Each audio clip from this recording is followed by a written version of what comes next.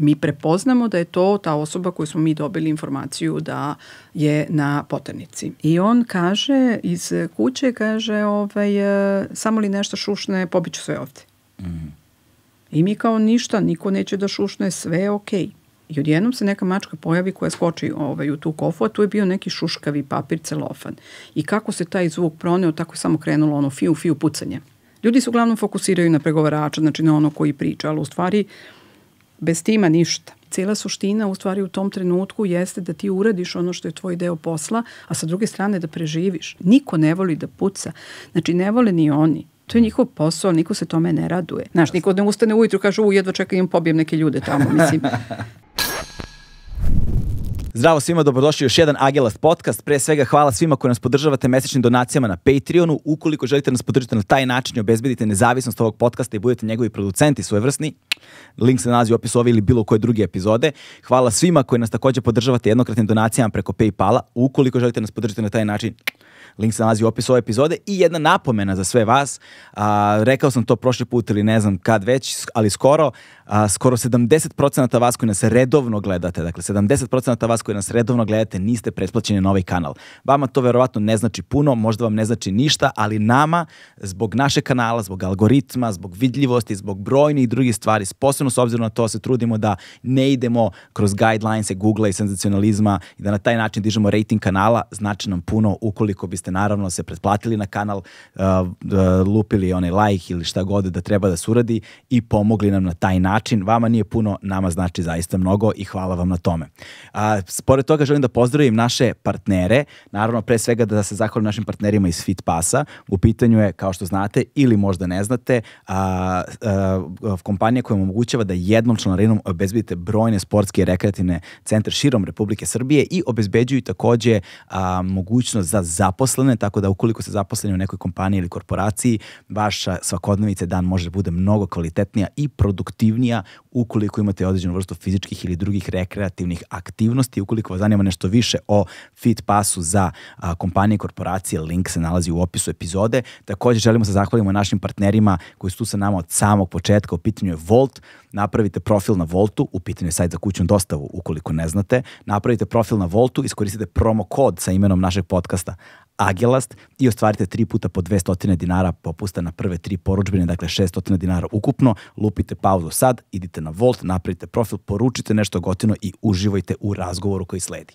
A razgovor koji sledi, naša sledeća gošća, u pitanju je Tatjana Kljun, žena koja je provela ceo život, u, ne ceo život, ali veliki deo života u službi, u Ministarstvu unutrašnjih poslova, u specijalnim antiterorističkim jedinicama, prva žena koja je bila u Saju i osnivačica pregovaračkog tima za talačke ekonomske krize. Jedna vrlo zanimljiva karijera. Poslušajte razgovor, vidjet ćete više. Uživajte.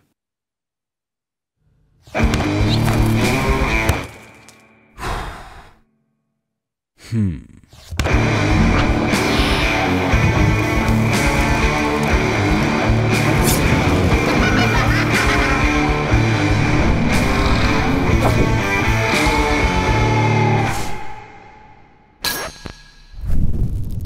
E, da, šta smo dakle malo prepričali? Da, u stvari pričali smo o neverbalnoj komunikaciji. O neverbalnoj da komunikaciji. Da li ću ja da mlatim rukama ili neću. Ali dobro, to je sad zbog narokvice koju, da, da. koju si ovaj, vešto sakrila u rukavu koja je zapravo zvetska, pa možda da napravi smeta za ljude koji samo slušaju razgovor, znaš. Da, tačno. Znaš, pošto veliki broj ljudi za, zapravo samo na ovim aplikacijama za audio slušaju razgovore, ne, ne gledaju. E, u stvari, evo vidiš, sad kad to pominješ, e, uhvatila sam sebe kako često kad želim nešto da pogledam, na primer e, na YouTube-u, u stvari da čujem, ne da pogledam, da e, prosto ostavim telefon, pustim samo ton i nekako ne gledam. Da i kako mi to jako prija i setim se da sam ja verovatno ta stara generacija koja je rasla uz radio. A, da, da, da. I to mi je nekako, ovaj, ali to drži fokus mnogo bolje. A, postoji magija nekakva u audio formatima. Mm -hmm. Radio je svojevremeno imao tu magiju, dok naravno nije, to sam pričao noliko puta, izvinjavam se svima, dok nije formatizovan početkom 2000-ih i onda je uh, nestao govorni program sa radio u velikoj meri. Tako je, tako je, mm. tačno to. I setim se, ovaj, nažalost, kad je Gorica nas uh, napustila, da. kako sam uh, zapravo prestala da slušam. Meni je to bio ritual da ujutro, bilo na putu do posla ili kada dođem, makar malo ovaj, odslušam nekako mi i glasovi njihovi, da. i ona i Dragane su nekako u takvoj sinergiji bili i teme na kraju krajeva. Da, buđenje, da. Tako je, i to mi je bilo, ovaj, ja nešto ne mogu sad da nađem, nešto slično što bi me držalo, da. Ok je Dragan, mislim sada je sa, sa Dejanom rade zajedno. Jeste. I Dejana je ono legendarni vokal, ali mi je fascinantno sad kad ih slušam, njih dvoje kada slušam ujutru, pošto Dejana je najprepoznatljivija, čini mi se po reklamama. Aha. Ona ima divan glas yes. uh, i skoro, ne znam, ogroman procenat, neću da se sad ono, gađam procentima, ali ogroman procenat uh, uh, TV reklama i radijskih reklama koje, se, koje imamo prilike da čujemo, to jest vidimo, kada je ženski vokal u pitanju, Dejana je u velikom procentu. I onda je fascinantno kada ih slušaš njih dvoje i onda se završi segment i krenu reklame i onda opet čuješ njen glas. Tako je i koliko je glas u stvari moćan. Jeste. Jeste, I koliko jeste. to znači na kraju krajeva ove komunikacije to. I stalno ponavljam ljudima koliko puta se desilo da imaš dobar video ali loš ton i onda ga isključiš. Jeste. Ne možeš da podneseš da ga slušaš, gledaš duže od ne znam koliko minuta. Ili kad imaš recimo onako, ne, ne baš neki video, ali kad je dobar zvuk, onda oslušaš do kraja.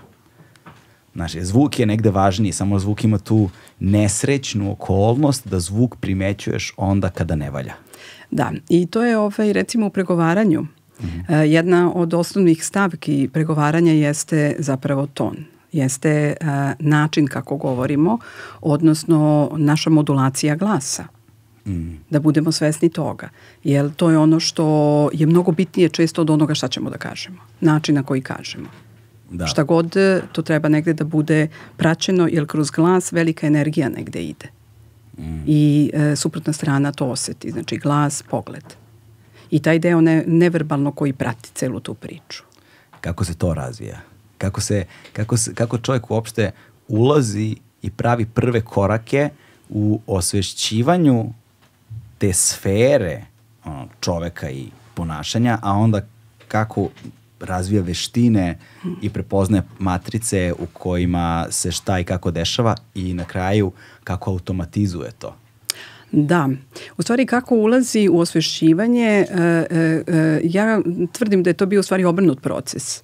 Hmm. prepoznavanje ideje, konkretno u ovom slučaju kad pričamo recimo o pregovaranju, ono što je 20 godina bio moj posao u državnim organima, jeste ovaj, prepoznavanje e, ideje kao fenomenalne, e, da kažem, metodologije za rad, nešto što treba da doprinese afirmaciji života, nešto što će da zaštiti, nešto što će da pomogne da e, bilo koja situacija ne završi dramatično. I onda prepoznaš ideju i onda se desi naravno ovaj, kao i svaka ideja potrebno je da se edukuješ u toj oblasti, jer mi nismo imali pregovaranje do 2002. godine u Ministarstvu unutrašnjih poslova, uopšte nismo prepoznavali da postoji taj koncept. Naravno, imali smo biti tih 10 godina, tih nesretnih 90-ih gde smo izašli iz svih mogućih tokova. Da. A onda se desi ovaj, da kako se eto namestilo da odemo na neki seminar koji je zapravo bio vezan i pričao je o pregovaranju i kako pregovaranje zapravo pomaže da se rešavaju neke vrlo ozbiljne situacije i onda što se desi, mi to prepoznamo i kao super i onda kreće obuke. Mi smo išli prvo ove jedno dve godine na vrlo ozbiljne intenzivne obuke, znači vrhunske u svetu. Da. I tu u stvari shvatimo da cela obuka, dobar deo obuke zapravo se svodi na nas same. A to je upravo to. Kako ja osvešćujem. Mm. A, hajde da, da ne bismo skakali s teme na mm -hmm. temu, ovaj, da nekako to počnemo iz početka, a, jer je veoma zanimljiv razvojni put i tvoj i same, a, same kako bih to rekao, struke, delatnosti, ne znam, u okviru, jel te, ministarstva unutrašnjih poslova, potom i jel te SAJA, jel te specijalnih antiterorističkih jedinica, a, ovaj, a kasnije i kao profesionalni vi ste sada profesorka kada je u pitanju komunikacija, odnosno komunikologija. da, da. Tako da ima ceo jedan razvojni put u svemu tome i bavite se nekim drugim stvarima koje su više okrenute biznisu, ovaj, s time da je to meni manje zanimljiva kategorija od ove, od ove, od ove prve. A u stvari nije. Da. Pa zato su to verovatno afiniteti i sklonosti. Znaš, meni nekako, čim se neko, ne, znaš, ono, kad su ljudi opsednuti biznisom, meni to nekako kao da propušta život. Da, e, ali pričat ćemo o tome, ovo ide sa drugog mesta. Da, da, da, da, to, to, to. Ovaj, dakle, uh, Uh, mislim da prvi put uh, u ovom podcastu za svih, ne znam, nešto manje od 200 epizoda imamo nekoga iz službe. ovaj, da je to prvi put. Imali smo iz različitih državnih institucija, ali uglavnom su profesori ovaj, sa fakulteta i tako dalje, iz univerzitetske neke priče, ali ovo je baš iz službe prvi put, a toliko sam u životu sarađivao ovaj, pre svega sa PR timom a, MUPA radići mm -hmm. dokumentarne filmove, ima tih nekih divnih žena sa kojima sam u divnim nekim kontaktima bio koje nikada nisam video. Uvek smo bili na dopisima preko maila, telefonom, oni mi dojavljuju, uspo, upo, upo, spajaju me sa određenim ljudima, odeljenjima, zavisi ovaj, od teme.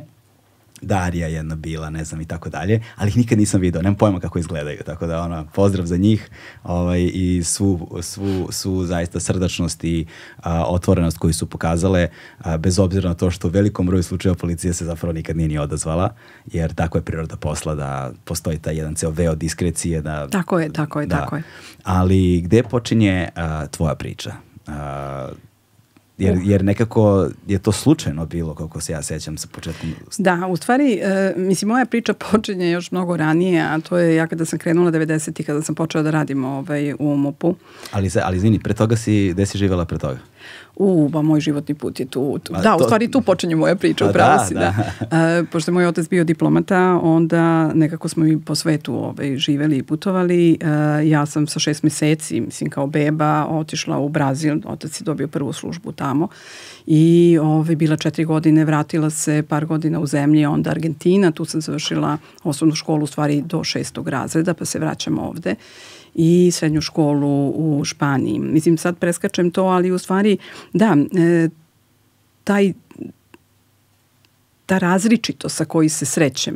Mm. Znači prvo različiti jezici koje e, jezici se uče generalno po sluhu kada si mali. Znači da mislim da je to doprinalo da nekako više razvijem taj osjećaj za slušanje, što je, će se posle pokazati kao jedna izuzetno važna stvar u pregovorima i ne samo u pregovorima, u bilo kojoj komunikaciji. Jer pazite, ovo su opšta mesta, nije ovo samo pitanje stručnog. I jezici, upoznavanje različitih kultura, a, a, suočavanje sa time da ono gde si ti, što ti misliš, način na koji ti živiš, jela koje ti jedeš, nisu jedina na svetu. Postoji tu puno različitih stvari i to jako lepih i jako dobrih. Da, da. I nekako se već tu zapravo negde pretpostavljam taj talent koji svi imamo. Ja verujem da svi imamo, jer deca kada se rode, pa vidite ono kad stavite todlere, mislim šta se desi, to je ono da la la. Da, da, da, da. Oni se tu već odmah iskomuniciraju. Kod mene se možda samo ovaj pojačalo. E, kada sam se vratila u zemlju, to je bila 85. 86. Obzirom da sam ja strašno želela da studiram antropologiju, mi to možda ima, eto, objašnjenje zašto sam završila u policiji, da. što je neobično. da, na prvi pogled neobično. Na prvi da. pogled neobično, međutim, e, mislim da tada dal katedre nije ovaj, bilo za antropologiju, bile istoriju umetnosti, bilo je nekih drugih stvari. Mene to nije preterano interesovalo i onda sam čula za višu školu unutrašnjih poslova, ta viša škola unutrašnjih poslova prethodno zvana viša upravna, to je bio onaj prvi kao stepen pravnog fakulteta, mm -hmm. e, mnogo je jaka bila i ja zapne meni se to ovaj, dopadne. A otkuda baš to? Pa e, prvo, ja sam dete službe. Mm -hmm, da. Mislim, diplomatija je služba.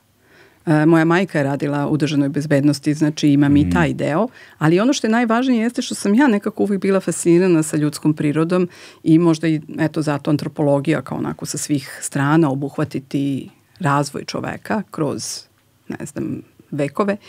Uh, taj deo, uh, šta se to desi, pa neko reši da, ne znam, se bavi kriminalom kako dođe do toga, da li se mi rađemo u stvari kao predodređeni da ili imamo izbor? I nekako eto to taj moj deo filozofsko-antropološki je radio.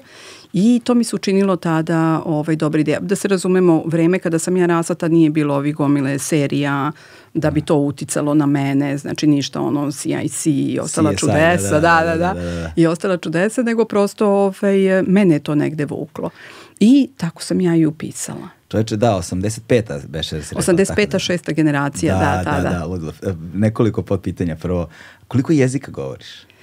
Pa ja govorim dva jezika, ono maternji što bi se da. reklo, da. ovaj španski i engleski, a onako služim sa italijanskim, portugalskim. Sjajno, sjajno, sjajno. Dakle, uključujući i materni, to su tri onda jezika. Da, to su tri ako uključimo materni, da. da. S tim da bi neki danas uh, izveli argument da engleski više nije strani jezik.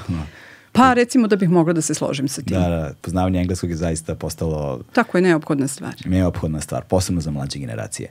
Ovaj, to je jedno pitanje. Drugo pitanje je, uh, pomenulo se malo pre todlere. Znači, mm -hmm. onda, sam, razmišljao sam o tome, šta bi bio ekvivalent, koja bi bila srpska reč koja bi zamenila todlera? Da, ja sam isto razmišljala, ovaj, to je nekako onaj neki period dvogodišnjaka, tad da. to nešto tu, dvogodišnjaka, trogodišnjaka, ne znam ni ja. Možda jednu reč ne znam da li bi mogla da izvedem. Da, jer mi imamo bebu, pa imamo dete, mm -hmm. jel tako? A oni imaju baby, toddler, child. Dakle, dakle imaju Tako toddler je. između ta između. dva. Između. U stvari to je onaj moment kada a, beba mm.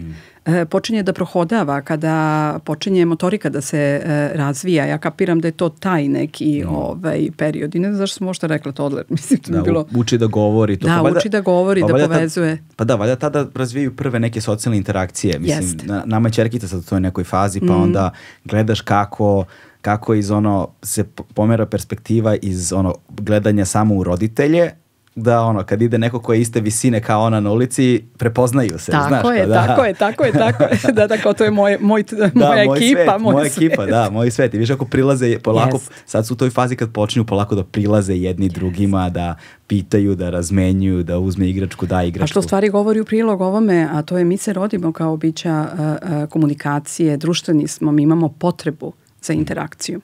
I mi prepoznajemo to. Da. Samo što oni još nisu formirani u smislu, sad to možemo gledamo dvojako, da li pozitivno formirani ili negativno, da. nisu pod uticajem svih mogućih uverenja, raznoraznih čudesa mm. I kulturoloških obrazaca i nekako njih je to spontano i prirodno. A to je zanimljivo isto i treća stvar, pa nastavimo dalje koju si pomenula, kao više kao komentar nego pitanje, ovaj, kako su ove serije, kako je popularna kultura zapravo povećala, to sam negde čitao da je statistika pokazala, posebno u Sjednjim američkim državama, tu nema govora, ali i kod nas interesovanje za forenziku Jeste. i da, da je broj ljudi koji se prijavljuju na prijemnim ispitima ono značajno, više redova veličina značajno skočio što je vrlo zanimljivo kako popularna kultura može da kreira Tako a, potrebe u delatnostima različitim. A to je možda i upoznavanje na jedan drugačiji način e, šta je sve što podrazumeva jedan policijski rad. Mm. Jer mi nekako smo navikli da gledamo te neke akcije, to su neke jurnjave, nešto ovaj, potpuno drugačije, a gde malo se vidi zapravo ono što, je, što, što jeste. Da. Mislim, u pravom nekom policijskom poslu najmanje imate onoga što gledate u serijama. A najviše imate jednu vrlo ozbiljnu analizu, jedno, e, kako da kažem, duboko slaganje ovaj, tih pazli Da. Šta se zapravo dešava tokom neke istrage i to traje i to je sve samo nije dinamično, nekada traje dugo, dosadno, ali i vučete ovaj, ta želja da rešiš e, da da rešiš tu enigmu. To je ipak, da, da ono, privlačnost nepoznatog i ono misterije na neki način. Tako je. A, dakle, upisuješ tu višu, a, kako se zove? Viša unutrašnjih Viš, poslova. Viša, da, viša, da, škola, viša, viša škola poslova. unutrašnjih poslova. Da. Gde je ona bila? Ili e, u Zemunu još, u, mislim, još uvek, ne znam da li postoji taj deo viša, to je preraso posle u Kriminaličko-policijsku akademiju, ali ona je ovaj, u Zemunu. Dobro, i kako i, i ono, šta su bile očekivanja, šta je bilo stvarnost? Pa e, ja moram da priznam, pazite, imajmo u vidu da je to 85-86, znači tu se školuju ljudi tada diljem Jugoslavije. Da. Znači, mnogo nas je iz svih nekih delova. I ovaj, nisam imala neka očekivanja, ja sam prosto otvorena, ja nekako već tada se nisam bavila pretarano očekivanjima koliko ono, daj da vidim gde sam ja to i šta je to. I mnogo mi se svidelo. Svidelo mi se to što uh, je bilo sve obuhvatno. Nije bila toliko jednostavna, znači to je ipak, kažem, prvi stepen pravnog fakulteta, znači nama su profesori bili sa pravnog fakulteta knjige, mi nismo imali, ne znam, rimsko pravo, nismo imali neke ovaj, od predmeta, ali smo ovaj, odmah ulazili direktno na pravni ko je hteo da nastavi ovaj, dalje sa nekim malim diferencijalnim ispitima. I meni se jako dopalo. Dopalo mi se nekako, e, dosta je bilo ljudi koji su bili u službi, znači koji su već radili pa su se doškolovali Aha. i onda smo imali nekako taj pristup e, koji nije samo akademski nego smo imali i taj operativni deo kroz e, profesore koji su prvo proveli svoj neki vek u službi pa su onda krenuli da se bave profesurom. Tako da to bila jedna dinamika, nije bilo suoparno. Da. Šta znači operativni deo? Šta to podrazumeva? Pa to podrazumeva da su ljudi radili kao inspektori i tako dalje, a onda kasnije ovaj, mm. se doedukovali da bi mogli da budu profesori i da predaju, što znači imate jednu kombinaciju i ovaj, teoretskog dela, a ima jedna kombinacija koja je vezana za kako to operativno izgleda. Mi smo peti semestar imali praksu šest meseci, znači razvrstavali su nas tada po različitim policijskim stanicama i tu smo ovaj, ono, ruki da, bili, da, da, da. znači dobijemo ovaj, i prolazili smo sve. Aha. Znači, bukvalno smo za tih ove šest meseci prolazili sve šta se dešava i šta se radi u jednoj policijskoj stanici i nekako kada odatle uđete da radite ovaj, baš da se zaposlite i radite u službi, vi ste u stvari jedan, kako da kažem, prilično ovaj, kompletan materijal. Mm. I šta je, kako je izgledala ta praksa? Kako je izgledao taj prvi susret sa praktičnim? Sa praktičnim delom, pa meni je bilo ovaj zanimljivo. I šta, i šta je sve podrazumevalo da. to kad prolaziš sve, sve aspekte? Pa obzirom da sam ja, uh, uh, mislim, dugo živela van zemlje mm. i ono, kad sam se vratila iz Španije, odmah ovaj, krenula to ovaj, da, da, da studiram i meni je bilo zanimljivo zato što uh, prvo što sam naučila, znači kada sam, ja sam bila dodeljena u Zemun mm -hmm. I ovaj, bilo mi interesantno, znači odmah sam ušla u to odeljenje za ovaj, suzbijanje kriminaliteta. Prvo ovaj, što su kolege uradile kao najnormalniji deo rituala, to je ono idemo, idemo u neku kafanu negde Bogu iza nogu, mislim, više ne mogu svetim kako se zove, ja sam tu bila potpuno ono kao iznenađena. I tamo idemo i tamo idemo, pratimo, pričamo sa ljudima, to jest oni pričaju i onda posle toga ovaj, kažu, e vidiš ovaj, taj ti je, ovaj, ne znam, e, on ti drži lopove u ovom kraju, e vidiš ovaj, on ti se Aha. bavi ovim i onim i tako dalje. Upoznavanje sa terenom. Jeste, upoznavanje sa terenom, tako da to je bilo ovako meni vrlo dinamično i u stvari, sećam se uvek um, Knežević, on je inspektor bio tu važio je za, bio tada već stariji, za najbogatiji, on kaže, vidi, samo budi tu četvor očiju, ništa ne prenagljuj, samo četvor očiju, nećeš verovati, nekada se stvari dese slučajno. Eto tako pre ne znam, dva meseca, ja izlazim, ovaj, sad pošto je naravno stanica ovaj, odmah kod pijace, mm -hmm. jel, u Zemunu, kaže, ja izlazim, idem tamo da kupim neku voćku da pojedem, muvam se malo kad ono tap, tap, ja vidim poznat mi lik kad ono, čovek s poternice. Eto vidiš, samo malo posmatraš i opušteno. Da, da. I to mi je onako, ovaj, setila sam se često toga. Da, Kada da, se da. usija situacija na poslu, a ja se setim toga, ja kažem, aj sad diši, opušteno, posmatraj, kao neki uvod u samosvest, eto. A, da, to, tome ćemo govoriti kasnije. Ovaj, koliko je žena bila ta, bilo tada u Puci? Malo. Da. Nas je uh, u gradskom supu, kako da. ovaj, se tada zvalo, sad je to PU za grad Beograd. To nas je u gradskom... uprava za grad Beograd. Tako je, tako, tako je. Ovaj, tad je bio gradski sup. Nas je, ovaj, tada se zvala uprava za suzbijanje kriminaliteta UZSK. Ovaj, bilo je jako malo. Mm. Uh, bile su koleginice uh, uh, na drogama je bila jedna, kad sam ja počela da radim. A, a čini mi se da ovaj, da, u, u krvnim i seksualnim tu je ovaj, bilo dve koleginice, nešto malo u maloletničkom -hmm. u delikvenciji. A, I eto ja i možda još jedno, dve. Znači govorimo o operativi. Da. da. Ono inspektor. Da, da, da. da, da. A u, ja mislim da u uniformi nije bilo ni jedne. Mm, da, to je radika, značajno drugačije vreme nego danas. Radikalno drugačije. Radikalno drugačije vreme ovaj, a i sa tehnologijom i sistemima komunikacije, i, a u tom periodu vrlo brzo, dakle, koliko dve godine je ta viša bila, ali tako? E, pa ono je faktički skoro tri godine, da, skoro da, pet tri godine, dakle, to je ono 85. 86. taman da. do 89. godine. Pa ja sam i počela da radim ovaj, uh, krajem 90. Krajem bio 90. decembar, da. Vrlo specifično vreme da počne se raditi službi. Tako je, tako je. Znači ja nekako ovaj, znam da su mi sve vremeno kolege ovaj, se šalile na taj račun. Kaže ti ko neka nevolja, ti kad negde dođeš to se odmah nešto desi. Da, da, da. I tako se desio da i 9. mart vrlo brzo. Mm, I hoćeš nam reći svoje iskustvo s tog 9. marta?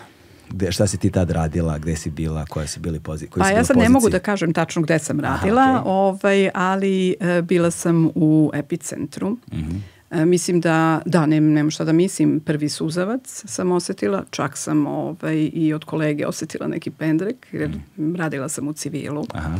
I to je zaista bilo jedno ovaj, neverovatno teško vreme.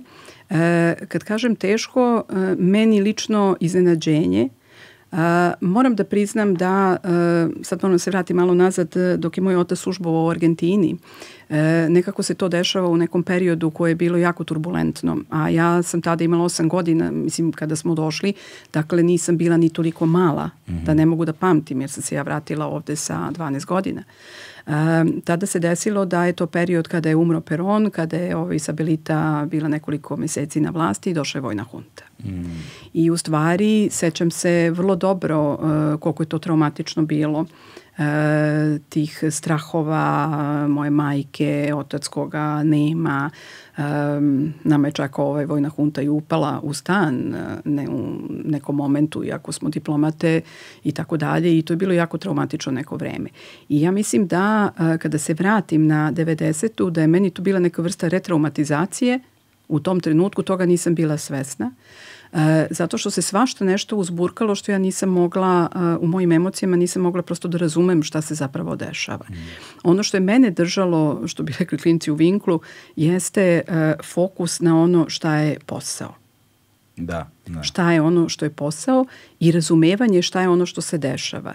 Obzirom da se ja vraćam e, u tadašnju Jugoslaviju u vreme kada očigledno je mnogo toga već politički krenulo da se menja, što je za mene potpuno bila jedna nepoznanica. Uh, Drugo, e, koincidira i sa time da ja kad sam se vradila dosta brzo ovaj, i udala i dobila dete, to sam završavala školu sa, sa mojom čerkicom ovaj, u naručju i a, nekako se nisam bavila tim delom, nisam pratila, nisam razumela. Mm. Ja sam i dalje živela u uverenju da se vraćam u onu neku zemlju koja je više bila neki mit kroz e, narative mojih roditelja nego što sam ja lično mogla da iskusim. Nisam puno živela tu. I nekako mi je sve to bilo jako strano i nerazumljivo. Da, da, da. da. I onda je to bilo to. Plus preživljavanje, jer sada i, idemo na ono mesto preživljavanja. Duše, ja sam se stvarno kao ovaj, mlada bavila sportom i borilačkim veštinama i bila u streljaštvu.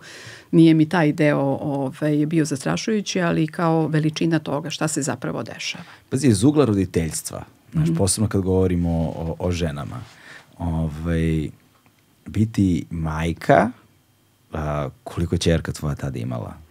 Ja kad sam počela, ona je 87. godine ovaj, znači, imala... rođena, ona imala tri, skoro četiri godine. Toddler, dakle. toddler. dakle, toddler, dakle, imaš toddlera koji zahteva ozbiljnu pažnju. Tako je. Ozbiljnu pažnju, to je ono dete koje, kako je to uh, prijatelj i komičar Srđan Dinčić rekao, kada ima sve fizičke sposobnosti da uradi sve što hoće i ni jedan intelektualni kapacitet da razume posledice toga. Tako je, znači, mora, tako je, tako znači, je. moraš ono da pažnja i fokus, mm. ne smeš sekundu da skreneš pogled z deteta i onda si konstantno oni kvazimodo pozio na savijena kičma, Tako hvata je juri, ne daj Bože nešto se desi, a ovako se desi. Tako je. Ovaj, a s druge strane i školovanje i služba koja je sigurno stresna tak sama po sebi, potom politička situacija koja proizvodi uh, nemire na ulicama kakvi znamo da su bili, a onda na sve to dodaje da ti kao neko u službi, to borilačke veštine, uh, streljaštvo i sve ono što prati dakle kao neku nužnu, nužne aspekte delatnosti. Da. Dakle, da moraš da budeš u fizičkoj kondiciji, u fizičkoj spremi, da razumeš određene situacije, što znači da to nije jednom se nauči, položi ispit i idemo dalje. Tako je. Nego tako je stalno, konstantan rad. Mm. Kao, odakle ti vreme, odakle ti strpljenje, odakle ti snage, odakle ti ono, podrška, ko, ko ti dao podršku. To sve. Da, e, u stvari ja sam stvarno imala podršku moje porodice, mm. e, pomoć maksimalnu koju sam mogla da imam. A, a, moj suprug je stvarno ovaj, učestvovao koliko god je mogao. Mada to idu i godine koje su vezane ne samo za te nerede i to bivanje, nego su vezane i generalno za opštu neku krizu. Mm. Znači ja se sećam da ja nisam imala vremena da stojim u redovima da čekam kada nešto dođe u prodavnicu. Da. Zato što je to bilo ovaj, tako vreme. Ali nekako imam sistem. Drugo, moji roditelji su mladi. Mislim, pošto ja mlada se udala pa mlada i dobila ovaj dete, pa su mi roditelji bili mladi, baka i deka. Ali su oni radili, tako da kao što si nisu, ti sada. Kao što sam ja sada, da, da, da. tako da. je, tako da, je. Da, da. Tako, e, kako to ovaj, divno zvuči. Ali nekako ovaj, e, sve to uh, prođe, kako bih rekla. Ono što je bilo zaista jeste tih prvih dve godine, da tako kažem, ovaj, od 9. marta, to je u stvari bilo, ovaj, pogotovo prvih nekoliko meseci, jer prvi put se se cela država suočava sa nečim takvim. Da, reci mi više o tome i pričaj mi malo o tome. O 9. martu. Da, da, i, i, I tih nekoliko meseci. I tih uopšte, nekoliko da. meseci, da, sve počinje, mislim, e, kako je počelo, znači sa 9. martom. E, sećam se, o, e, mi smo izašli na ulicu ranije, bila ono priča da će se skretati ovaj, demonstranti da idu na ušće, da neće biti dozvoljno da bude na trgu Republike, to sećam kod dan danas, a onda se nešto desi, ništa, niko nas ništa ne obaveštava. I, ovaj, i to je to, počinje mm. zaista to, to okupljanje, ta masa, a, mi svi imamo neke svoje zadatke, kolega i ja koji smo zajedno radili, mi smo ovaj, zeka. Da. Mi smo bili ovaj, u jednom delu te mase i to je otprilike bio onaj deo kod Francuske da se probija kordon. Mm -hmm. I, ovaj, i e, cela suština u stvari u tom trenutku jeste da ti uradiš ono što je tvoj deo posla, a sa druge strane da preživiš. Mm. Ja nikada nisam imala um, iskustvo bivanja u masi. Osim eto na, kad sam išla na koncerte, ali to da, mislim, da, nije uporedivo. to nije uporedivo da. uopšte. Uh, I to je za mene bilo ovaj, zastrašujuće, ali kako da vam kažem, to, to, to je ona priča kada se nađeš ovaj, u situaciji koju doživiš i koja zaista autentično jeste život smrt. Znači ovo nije sad kako ja doživljavam, nego autentično, mislim, mm. trebaš da preživiš. Nekako se sva čula izoštre i mi jesmo bića preživljavanja, da. to sam shvatila.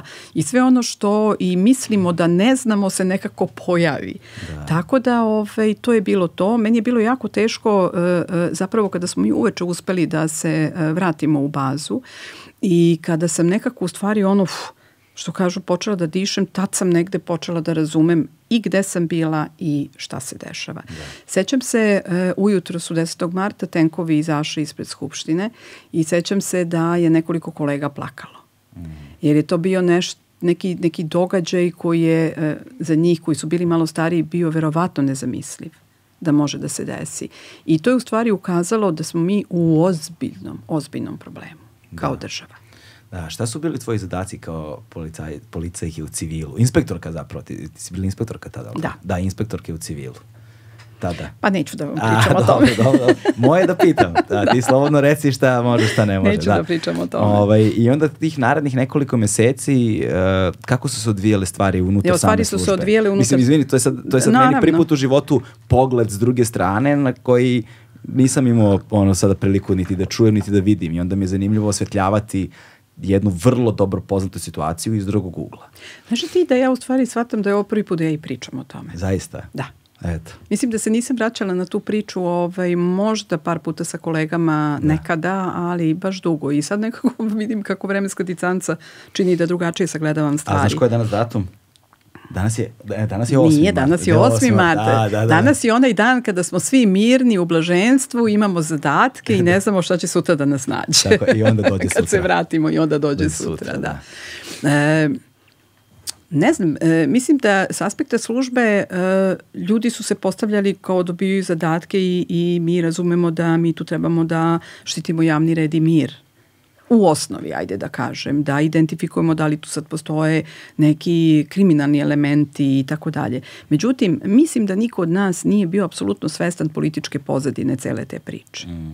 Nekako, um, možda ovo zvuči sada, ne znam, nesvatljivo, a, ali kada radite taj posao, vas toliko povuče to rešavanje kriminala, vi ste toliko u tome da postanete autistični za neka spoljna dešavanja, za neka veća dešavanja. Znači ta metapozicija da ja sagledavam sada gde se ja i politički nalazim u zemlji u kojoj radim u tom trenutku.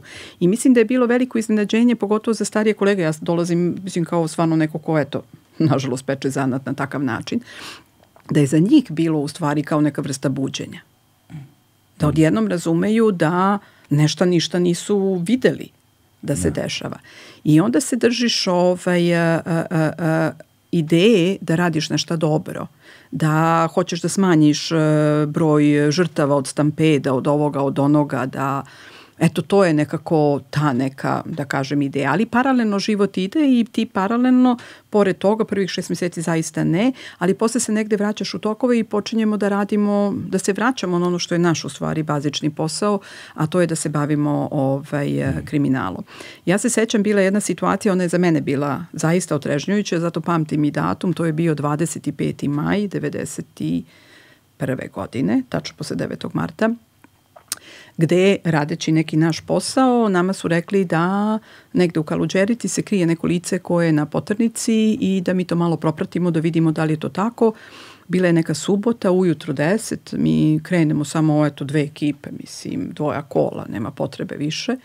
A, I dolazimo mi do, do Kaluđerice, pratimo mi negde tu zgradu, tu kuću u stvari, neku dvospratnicu, kako se sećam, i sada mi to tako gledamo i u nekom momentu ovaj, stvarno izazi čovek, e, ulazi u neko vozilo, mislim da je bilo taksi vozilo, i izlazi drugi čovek iza i između ostalog taj drugi čovek je, mi prepoznamo da je to ta osoba koju smo mi dobili informaciju da je na poternici što u stvari jeste ovaj, bila istina, ali deo priče koji nismo znali je malo drugačije. I sad mi nekako gledamo, oni ulaze u kola dok se mi to organizujemo, da ih propratimo i negde da ih isečemo, mislim sasvim dovoljno i da ovaj, uhapsimo to lice. I šta se dešava? Oni kreću. Pritom mi ne vidimo u tom trenutku da su kola, da je u kola ušlo i dete. Mm. I sada mi pratimo ovaj putem i u jednom momentu e, put skreće, a, mislim da se zvala Izvorska ili Grobljanska ta ulica, sa ne znam u Kaluđerici, mislim ako ja ne pamtim ulice, ja sam to zapamtila i tu je stajao neki kamion i nama se učini da je jako pogodno da tada izađemo i da prosto opkolimo vozilo i da uhapsimo ovaj čoveka. I mi to tako i uradimo i kako smo mi izašli iz kola kreće pucnjeva prema nama. Kolegu okrzne metak tada tu nekako, a ja se vraćam sprema da pozovem pomoć i u momentu ugledam na zadnjem uh, sedištu, ugledam dete i potpuno se zamrzavam jer to nismo, mislim, niti videli, niti očekivali. I sad sve u svemu, ovaj, šta se dešava? Dešava se da uh, uh, u tom nekom okršaju da mi naravno se zaklanjamo, to lice koje smo mi tražili krene da beži, um, ja, kolege kreću za, za, za tim čovekom, znači njih dvoje, ja i kolega ostajemo sa detetom, u to se pojavljuje neku odvodi dete, mi krenemo sad da trčimo za našim kolegama, stižemo ih u nekom trenutku i u jednom momentu mi stajemo i ja ovako pogledam oko sebe, ljudi koji žive tu, građani, sa sve, što lovačkim puškama, što vilama, što nekim motikama nas okružili. Mm. I mi sad uopšte ne razumemo o čemu se radi. Mislim, i još uh, mi se legitimišemo, objasnimo, jurimo čoveka sa poternice. A oni nama psuju. A, Miloševićevu majku ovo ono kako smo mi poslati kako režim tu da mi ne znam šta mislim vidimo mi da to nešto nije u redu sad mi objašnjavamo da mi možda mislim mi smo došli uhapsimo čoveka sa poternice da pritom čovek koji puca na nas i tako dalje. Ma kakvi oni ove izgušnjavaju, ja rekao ovo će biti ko onim filmovima Vila, Kuka, Motika, Odoše glave. I tada u stvari se prvi put i dešava moj susret sa pregovaranjem, jer ja posle kad sam vraćala film, to je to, a to je kako je u stvari kolega krenuo polako da smiruje situaciju, ja sam ga tu podržala, računam ajde vide žensko, to je neobičajeno možda u policiji, pa možda i to ovaj, utiče i kako se nekako su e, te strasti ove ispustile i onda su oni odustali, ali naravno mi smo iskubili tog čoveka i tako dalje. Šta je poente? Poente je što u tom pregovoru kada mi objašnjavamo zašto smo mi tu i da mi zaista autentično nemamo veze, mislim, sa Miloševićem, politikom, mislim, to je stvarno ono tada da. bila mi se ona imenica u tom momentu, ovaj, da bi oni nama objasnili da je zapravo taj lik koga mi jurimo, čovek koji je bacio molotovlje koktel dal na SPS prostorije tu u Kaluđerici i to je nešto bilo vezano za Ma čak mislim da je bilo vezano nešto za legalizaciju tih nelegalnih e, objekata. kuća, objekata tada. Pazite, to je 91. godina. Mislim, Kaluđerica još nije ono što je sada, ali raste, recimo, tad je to krenulo. Ali ne znam ni koliko je objekta legalizovano tamo i danas. Tako je, ali se ispostavi da e, to dobije jednu potpuno političku mhm. konotaciju. I sada mi se vraćamo i sada naša zapitanost se zapravo dešava. Da li smo mi zaista, prvi put u stvari se pojavlja ono e, promišljanje da li smo mi zapravo poslati tu zaista da uhapsimo čoveka koji je na potenici ili je zapravo bilo bitno zato što je on pripadnik, ne znam, mm. ili simpatizer. Da su ovaj. manipulisali vama. Tako je, tako A. je. I e, to je u stvari nekako ovaj, počelo e, meni kao nekome ko nije preterano ovaj, e, bio upućen u ono šta se politički dešava i tako dalje, da u stvari nekako imamo četvor očiju otvorenih, jel, eto, imate to neko nezgodno iskustvo. nikada nismo saznali šta je zapravo bilo, ali doživljaj je bio da smo ovaj negde bili izmanipulisani. Da. Mislim da se razumemo, uh, da nam je neko rekao i da je taj čovek uradio i to i to. Mislim, imamo lice na poternici, da se razume. Znači, to je, to je jasno ko dan. Ali nekako izostaviti uh, značajnu informaciju u tom trenutku kada cela zemlja gori, meni je bilo nekako simptomatično. Simptomatično, da, da, da. I ono što je važno, verovatno, u tom trenutku kada ti se ubaci zrno sumnje, mm. više nije važno da li je istinita informacija Tako ili je. nije. Znaš, to Počinje je- da se širi vidno polje. Da. percepcija. Znači sve što radiš počinješ da uh, nekako sagledavaš uh, sa širinom da možda može i ovo, a možda može Da, i ovo. jer uzmimo za primjer da je ta informacija bila posledica propusta, Mhm. neprofesionalnosti, ali opet je posledica ista. Tako. Bez obzira. Bez obzira na to da li je bila namerna ili slučajna, posledica je ista, to je da to zrno sumnje ušlo jednom kad uđe, svi smo u životu bili u tim situacijama. Tako je. Kad jednom počneš da sumnjaš u neke relacije i odnose, Crvić radi. jo, to se na, na staro teško ili nikako vraća. I ne samo to, nego onda odjednom počinjemo da obraćamo pažnju na neke, na neke priče, na neke mm. zakulisne radnje i nekako sve počinje da poprima ona i to. Ali ja sam shvatila, to je u stvari kako i nastaju u životu teorije zavere. Mislim, kada generalno pričamo i kako ljudi u stvari imaju doživljaj da se nešto dešava, to je kada nemaju pravu, istinitu informaciju. Mm. Či kada vi ostavite jedno veliko polje uh, uh, nepokriveno, nekom istinitom, kakva god da je, najgora, najgora, ali istinita, onda to u stvari uh, uh, pušta mogućnost da krene mozak da pravi svoje kombinacije, da povezuje i tako vam nastaju teorije zavere. Znači kad ne znamo šta se dešava, a imamo potrebu da objasnimo, da damo neki smisao i neko značenje toj situaciji, onda tu počinje svakojaki konstrukti da se dešavaju. Da, da, da, da. Koliko ti imaš godina u tom trenutku? Ja u tom trenutku imam 20 i ja mislim, joj, 26, 26. Znači, da. ono, mlada, Da. Vrlo, vrlo mlada. Vrlo mlada, da. čerkica, ali tako, čet, čet, Četiri, čet, tako je, četiri tako je. godine i tebi, tebi se sužava krug ono sa puškama i vilama u, ka- negde u Kaluđerici. Da. Znaš, kao, kada sad vratiš unazad i posmatraš tu situaciju, znaš, kako se čovek, i to je- su nam negde i teme, jel te, za kasnije u razgovoru, emocionalno a, a, vraća ono što bi rekla, što si malo rekla u vinklu, znaš, u vinkl, jel te, kako se baždariš, kako se, kako regulišeš to, kako se prazniš od svega toga. Ja tada uh, nemam tu samosvest. Mm. Ja sam tada u stvari onome što ću mnogo kasnije, na 40 godina kasnije studirati, učiti, raditi na sebi, shvatiti da je zapravo to onaj mehanizam desenzitizacije, mehanizam kada se zapravo odsecamo od svojih emocija, jer bi bilo premnogo, preplavljujuće. Znači prosto sad kad pogledam, mislim da bi bila paralizovana da sam se bavila tim. Nego je nekako ono kao ideš, Da. ideš, ono, samo ideš i u modu si preživljavanja. Da, s druge strane, kad posmatramo te 90. ono, to je sad ono, eto, zanimljivo je zato što na neki način ih, ne znam kako to da objasnim uopšte, ponovo ih proživljavamo Tako na je. neki način. Na Na neki, neki način, način, na da. neki način. Uh, čudno je kako su najveći zagovorni, zag, zagovornici tih 90-ih koji su ih pretvorili u stilsku odrednicu kroz muziku, kroz modu, kroz ovo, kroz ono, zapravo osobe koje nisu rođene bilo u to vreme. Ovaj, I onda nekad pomislim kao je, ovo je sad kao, kad ga neko kaže sad je gore nego tada, znaš, u nekim Mhm. aspektima možda i jeste, ali, Ali u nekim nije. ali u mnogim nije. Tako je. Ali u mnogim nije, znaš, jer ono, kad god se setim nekih vrlo konkretnih trenutaka iz svog života i života ono, ljudi u našoj zemlji u to vreme, znaš, ne ponovilo se nikad nikome ni najgorem neprijatelju, ali ovaj, ali iz vizure mene koji sam, ono, jel te, bio klinac tih godina, dakle nekih desetak, 11, 12 godina, Uh, ja sam vidio tu promenu, kako smo se je pre 80-ih igrali kao bojaca indijanaca zbog western filmova, počeli smo se igramo policajaca i lopova. zna. Da. A, u, unutar mainstreama popularne kulture, jel te, kriminal je bio strahovito popularan. Od klanova koje kakvih, voždovački klan, je. klan, ovaj klan, onaj klan, z- načina na koji se izveštavalo o tome, načina na koji se pisalo o tome. To se skoro pretvaralo u neku vrstu ono, romantizacije, fikcije. Tako je. A, pretvarano je u mit na neki Tako način. je. Mhm. I taj mit živi dan danas.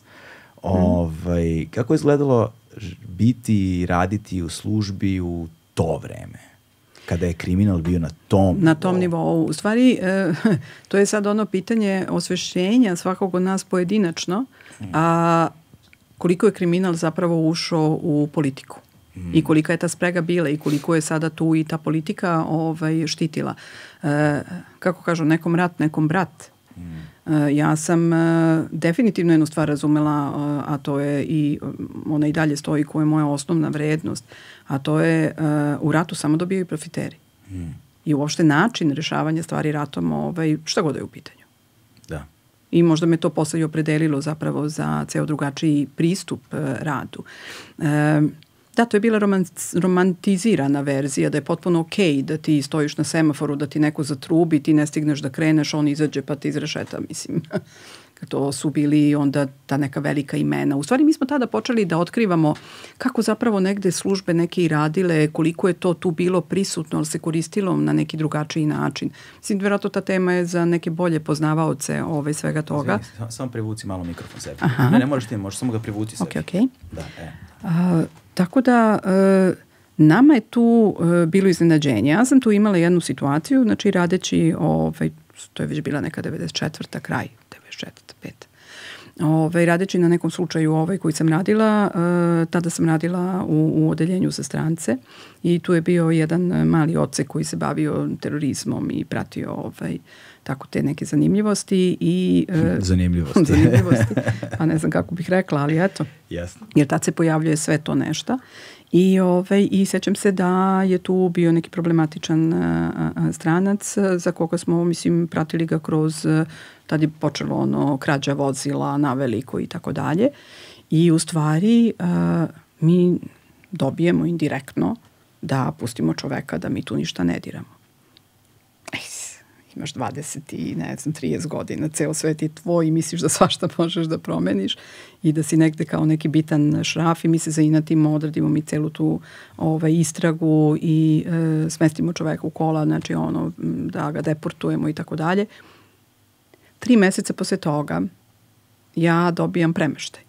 Mm. I mene iz gradskog supa ovaj, pošalju, ali tada kad vas menjuju, tada vas menjuju kao vas, kao vas unaprede, ali su stvari metnu negde te ne možete ništa da radite, bar da utičete na nešto što je vezano za istrage. I tako ja završim upravi policije u sedištu ministarstva. Mm. E, to je bilo možda neki mesec pre nego što će ovaj, a, a, a, pokojni Bađa biti ubijen. Ko je Bađa? On je tada bio načelnik resora. Aha, okej. Okay.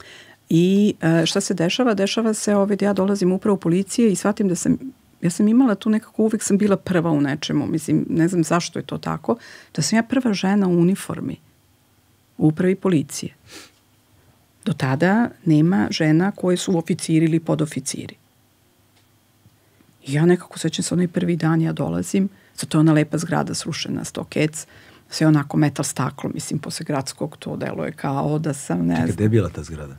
U Kneza Miloša 101, to je ova bombardovana, da, bombardovana zgrada. zgrada. U, sećam se tog dana. Jeste, jeste, ja se sećam, sećam tog dana. se tog dana. Uf. Ja sad dolazim, sad kolega me dočekuje, ovaj, kaže, e, ok, ja sam tada ovaj, dobila rešenje da radim u zakonitosti u radu i ovaj, sad mi pokazuje neku kancelariju, ja dođem, sednem, posle pet minuta ja pogledam, a ono ispred kancelarije red, jedno deset stoji uniformisanih ovaj, ljudi s nekim papirima. Ja sad ne znam, su došli da mi požele dobrodošlicu, šta se dešava. A oni misle ja daktilograf, novi ja. zaposleni i oni čekaju sa papirima da ja njima nešto prekucam. Tako da to su ove, ovaj, bile te godine kada je i taj kriminal i ta ubistva, pa na kraju krajeva ovaj, ubili su nam tada jel, ovaj, načinka resora. Mislim da je tad bilo još tako. I to je nešto što je bilo potpuno, kako bih rekla. Međutim, e, to je period kada su ratovi ratovi u kojima mi, mislim za ljude koji slušaju, pokazujem pod znakom navodnika, ne učestvujemo. I to je period ovaj, kada je nekako uh, težište palo sada na uniformisanu policiju. Mm. I eto mene opet tu. Da, da, da. Da, da nekako ovaj, svedokujem m, nekim stvarima, uh, dogovorima i ono što je bilo zanimljivo, uh, ja sam tada, mislim, možda to nije pohvalno, ali i razumem, nije bilo potrebe. Jedina osoba u Kneza Miloša koja govori jezike. Da, da. I to me je dovelo do toga da su me na svim nekim razgovorima i pregovorima ovaj, vodili kao prevodioce.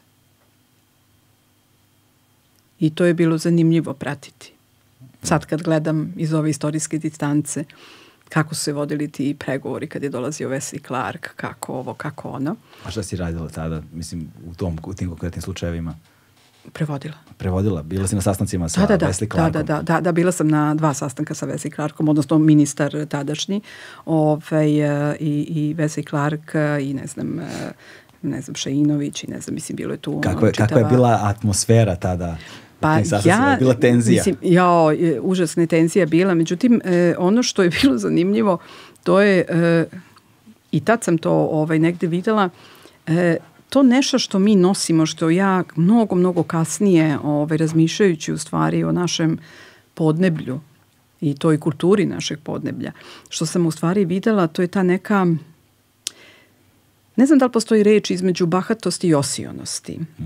To je neko nepoznavanje i nerazumevanje s kim imaš posla. Da, da. I neka, neki pristup kako ćemo, lako ćemo. Znači, ja potpuno sam svesna da je to sve samo nije lako, nikako, mm. i da ta varijanta da ti kažem nešto, da ti zamažem oči, da malo kupim vreme, zapravo ne prolazi kod takvih ljudi na tom nivou. Ne samo to, nego tu je sad i prisutna neka uh, tehnologija mm. gde bar u tom trenutku u ministarstvu ne postoji svest, mislim koliko je zapravo to veliko i značajno. Da te mogu te presluškuju, snimaju. Da vide sve, da sve. to ako ti kažeš... Ovako nakon. Tako je, ako ti kažeš sada je ja ću sutra u 15H da budem, ne znam, na tom i tom prelazu, a ti ne odeš, su oni to snimili. Da. I prosto to neko nerazumevanje, ovaj, meni je to bilo, ovaj, moram da priznam, užasno o, o, stresno. Da, pritom je tu ono što se čini mi se, evo, koliko je godina prošlo? 20, 30 skoro. Da, skoro 30, 30, 30 godina. godina je prošlo. Čini mi se da i dalje postoji ta vrsta podcenjivanja. Tako je, tako je. I to je ono što prepoznajem i to je ono kada ja kažem ovo mi liči na 90. u stvari to je ta vrsta ponašanja, taj obrazac mm. ponašanja. Znači, e, e, ja se sećam, to je bio sastanak e, gde su došli generali NATO-a, gde se pregovaralo, to je bilo već 98. godina, znači već je Kosovo uveliko ovaj, gori, gori. I ovaj, gde se pregovara nešto o smanjenju broja punktova sa ne znam nekih 47 na nekih 20 i nebitno. I sad to, to se dogovori. Znači obe strane se dogovore da polako to ide ka nekom smirivanju i tako dalje. I to je okej. Okay. I sada dat je neki rok, recimo, tri meseca. I sad ja naravno ne znam šta se dešava umeđu vremenu. Sad ja opet dolazim mm -hmm. da prevodim i dolazi čitava ovaj, svita i uvek se setim tog uh, uh, pokreta uh, Wesley Clarka. On je onako zaista jedan, kako bih rekla, jedna neprijatna pojava. Mm. Ja sad ne ulazim u bilo šta, ali moj doživljaj je da je on uh, tog momenta ulazi kao izuzetno ljut čovek. Da, govoriš ono, to je o čemu pričamo, o čemu, čemu, čemu ćemo pričati, taj govor tela, tako je, tako je, tako pojava, je. prisutnost. Mislim, njegova, njegova lice uh, poker face, ali sve drugo odašilje. I on jednom momentu vadi neki zgužvani papir onako i baca na sto i kaže pa jesmo se mi dogovorili. A ova strana, naša strana, svi kao, pa, kao da, kao jesmo, kao, kao ne. Pa kaže, niste uradili. Dogovorili smo se, niste ništa uradili. I sećam se tada, ovaj, a, a, a, general Vlastimir, on je bio tada već načelnik resora, Đorđević, on je ovaj, tada a, a, krenuo ka telefonu i onda se okrenuo ovaj, a, drugom kolegi i rekao, idi proveri da li je u Prištini tako. Vesni Klanak vadi snimke. U tom trenutku šta se dešava u stanici u Prištini. Da. I ja, jo, jo, ti kao, kako ovo, kako ovo? Naravno, on ide sa svojom asistentkinjom, mislim da je ona, da li bila pokonica, šta je, ovaj, a, koja sve vreme stenografiše dok se vode razgovori i koja na kraju, znači cele te jedne izuzetno neprijatne situacije, ali već se nazire to bombardovanje koje će se desiti, oni posle toga idu da se nađu sa Miloševićem, a ovaj, koja kaže ovako, ovaj, e, ja ću vam otkucati moj primerak izveštaja da vam ostavim sa ovog sastanka I ja sad onako kao ok, a ona kaže hoćete na srpskom ili na engleskom. I sad ja kažem pa meni je sve jedno, ali zašto da prevodim može i na srpskom, a ona kaže ti ćirilicu ili latinicu i to me dotuče. Znači Da, to da, me da. totalno dotuče, jer e, nekako razumevanje sa čim oni raspolažu Da. i nerazumevanje s ove strane to mi je nekako bilo fascinantno. I zaista i do zadnjeg momenta kako ćemo, lako ćemo. Taj dan bombardovanja pamtim po tome što su svi prilično mrtvi ladni i što su svi u fazonu, ma neće bre, kome će pasti na pamet, ma gde na silu, ma daj, da, meni su rekli nemoj da paničiš. Mislim, ja sam sve, samo nisam žena panika, to, to. ja kažem, ja ne paničim, rekao, ja vam samo predočavam ovaj, na nešto što će očigledno neminovno da se desi. Znači, niko ne, ne želi da se suočava sa stvarnošću. I to mi je proletelo kroz glavu, da. Znači, mi smo nekako ljudi koji izbegavaju da se suočavaju sa stvarnošću. Da, to je istina. I sa prošlošću. I sa prošlošću, ali to ide jedno uz drugo. Tako je, tako je. Da, i to, to, si, to si tako u pravu.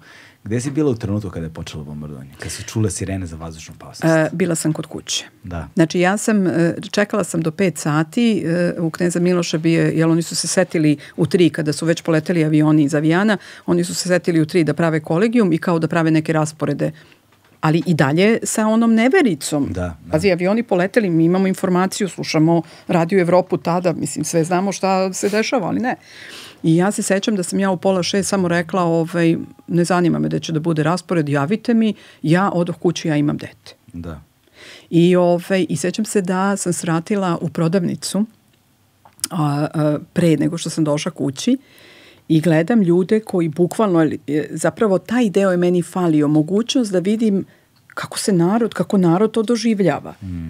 Znači to puna kolica do vrha ovoga, onoga i sećam se da je bila neka gomila nekog mesa koji je neki par stariji vukao, a ja se mislim u sebi, ok, u životu nisam bila u ratu, nisam doživjela bombardovanje, ali moja logika govori, ono sećam se iz ratnih filmova, ono zamračenja, isključuju struju.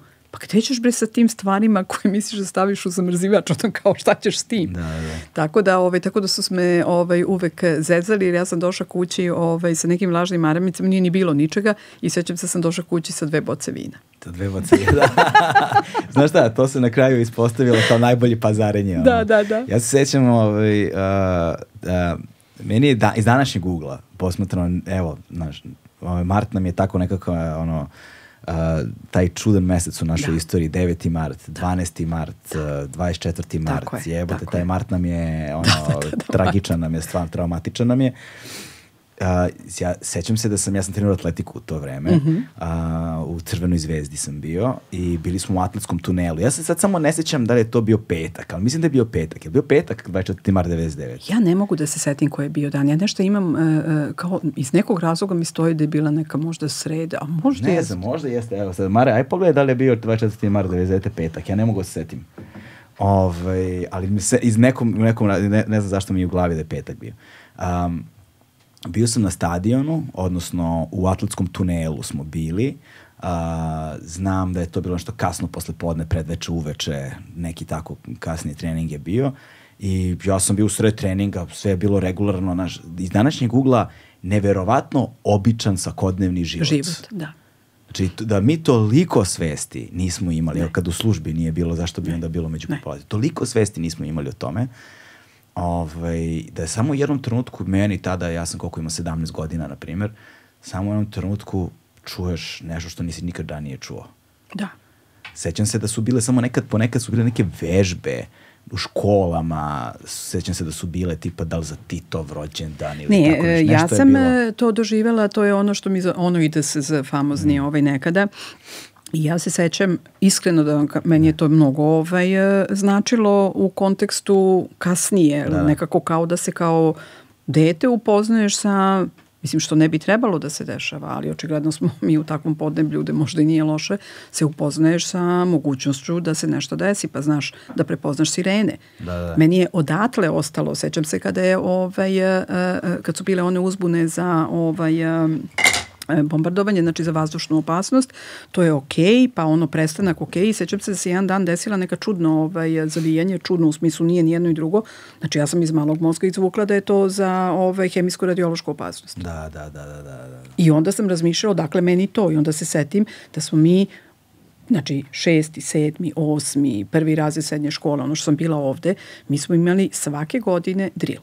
Da, da sirene, prepoznavanje, morali smo naučimo no, ono da se, ja da prepoznajemo, da atomski sleva famozni, šta da radiš ako je atomski, gde su ti ove, skloništa, koga pratiš i tako da. Da, ja se sećam da smo mi imali te neke u školi, je to bude neka mm -hmm. sirena i onda mi nešto kao se pakujemo i idemo, ali mislim da je bila i za neku godišnicu, sad ću da lupim, da li ono Titovu smrt ili e, Dan jest. Republike. Jest, Tako je, buje, jeste, jeste, tačno, jest. E, to je tačno, bilo, tačno, da. Tačno, tačno, su se oglasile sirene. Jeste, znaš, e, toliko nešto je bilo, ali, ovaj, a, ali, smo, ali se sećam to i, on, i onda samo smo mirno su nam rekli kao je sada gotove trening i oko šta je ovo što se čuje što je gotov trening, a ne mogu niko da mi kaže. Ja samo znam, ja samo znam da nemam pojma šta se dešava. Blage veze nema i da je trener rekao, je, moramo sad se pakujemo gotovo, dolazi portir kao tera nas napolje, znaš, kao zatvaramo sve. Znam da se ja nisam stigao, ja sam krenuo kao da se spakujem i krenuo u slučionicu da se istuširam. Znaš, mislim, to je taj nivo, ne znam. Tako je, I oni ti gase svetlo i kao, kako tuširanje, ti normalno, ajde bre, beži. I onda sam ja onako sa sve stvarima izlazim, kao, počekaj ljudi da se istu... Ne, apsolutno nesvestan toga što se dešava. Sam ja uredno išao, otišao peške, ta autokomanda, sve nešto nekako je prilično normalno funkcionisalo, sačekao na tramvajskoj stanici tramvaj, Vojvode stepe, krenuo tramvajem gore, došao, sad se posećam se da do trošarine, pa sam na autobus, sam živio od gore, kumudržu, u selu sam gore živeo.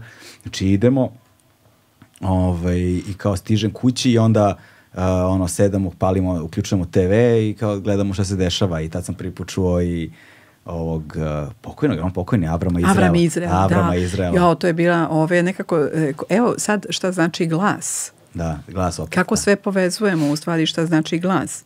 Njegov glas ove, je bilo ono što su ljudi autentično doživljavali. Ta energija koju on prenosio. Kada on kaže mrš u sklonište, samo što tako je kaže. Da, da. Znači to nema, ostavljaš sve i ti slušaš, e, osjećaš da je to potpuno e, u svrsi e, tebe mm. i tvog opstanka.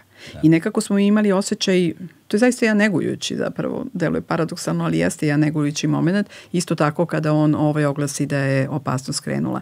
Ali to prvo večer je bilo stvarno neverovatno, zato što, mislim, ja jesam u službi gde čuješ i eksplozije i pucaš i sve je to okej, okay. ali nekako moram da priznam da sećam se taj prvi udar mm. kada je bilo, znači meni se telo da iskoči da, iz da, grudi. Da. I ja sam samo razmišljala šta raditi, e, sklonište, dane, znači ja sam na Voždovcu tada da. ovaj, živela, tamo su moji roditelji ovaj, živeli i sada tamo imamo u nekoj od tih zgradica je kao ovaj, dole predviđen taj podrum kao prostor da bude neko sklonište. Znači, kao ono, da li da idem, da li da ne idem, Pa onda da, počinju i ona egzistencijalna pitanja, znaš, mislim, ako treba da pogidemo, ovo je u stvari kako da poginem i tako. Da, da. E, s aspekta e, službe, znači, e, naravno kad je prošao i taj prvi, drugi dan, treći, tu su već krenuli ovi da se organizujemo. Kod mene je neformalni bio neki štab, kod mene, kući, nije to trajalo dugo, ovaj, e, gde smo doneli neke kompjutere i tako pisali nešto, ovaj, e, ljudi su se razmileli, Pa to je bio neki period kada, ne znam, nešto da. mi se čini da je ta nesnađenost ovaj, bila poprilično prisutna. Da, da, da, i to je neverovatno. I ta vrsta nesnađenosti, nerazumevanja, mm. ni s kime imaš posla, ni i podcenjivanje tog nekog, podcenjivanje, podcenjivanje tog drugog kao neobrazovanog, glupog, nesposobnog, verovanje u sobstvenu superiornost tako i je, snagu. Tako, pa tad se pojavljuje taj narativ o nebeskom narodu, da, u da. stvari, da. onaj gde se i generiše tih godina. Da, to je, to je neverovatno. I koliko je to živo i dan danas. Tako je. E sad, mislim, možemo mi, verovatno tu postoje ove ljudi koji se mnogo drugačije i dublje bave mm. time, A, a mi u stvari negde ponavljamo jedno te isto. To je, e, znaš, e, one polarnosti u psihologiji, znaš, mi smo bitća moći i nemoći. I sada kako funkcioniš u polarnosti, ako mnogo stojiš na poziciji moći, znači ne uvažavaš onaj tvoj nemoćni deo, to ti je kao klatno. Mm. I ti si tu. Životna okolnost će te navesti u jednom momentu da otkriješ onaj drugi deo A to da. je nemoć. I sad to klatno ide tako što ono ne može odavde da se na idealnu tvoju sredinu zlatu zaustavi, nego ono odavde ide u svoju suprotnost. Da, da, da. I u stvari ja nekako nekada kada gledam o, o, o, ugrubo, da kažem, našu istoriju, ja imam osjećaj da u stvari mi stalno iz jedne pozicije, iz jedne krajnosti idemo u drugu, bez da učimo iz mm. toga da to klatno bude fleksibilno i da dođemo u neku pristojnu sredinu, nego smo nekako stalno odavde do ovde. Da, da sa, I ono samo malo, ekstremima. Samo ekstremima. Ono malo što se projavi neke e, smislenosti, e, e nekog, nek, nekog potrebe za napretkom, e, nekog okretanja ka nečemu što su neke dobre i značajne vrednosti e, civilizacijske mm. na kraju krajeva to kao da traje jako kratko i obično bude ugušeno u krvi tako što nam ti vladari u kom god periodu da su se pojavljivali nekako ovaj, su kratko trajali, iako je tad bio neki najveći prosperitet. Da, da, to što gaš. Ovaj, sad razmišljam kako će to klatno ovaj, sa tržištem nekretnina da nam se u trutku. A, to je posebna priča. Ajde to, da. Jeli, Mare, koji je dan bio? Nisi pogledao? Pogledao sam srede. Sreda je bila, eto, ja meni ostao petak.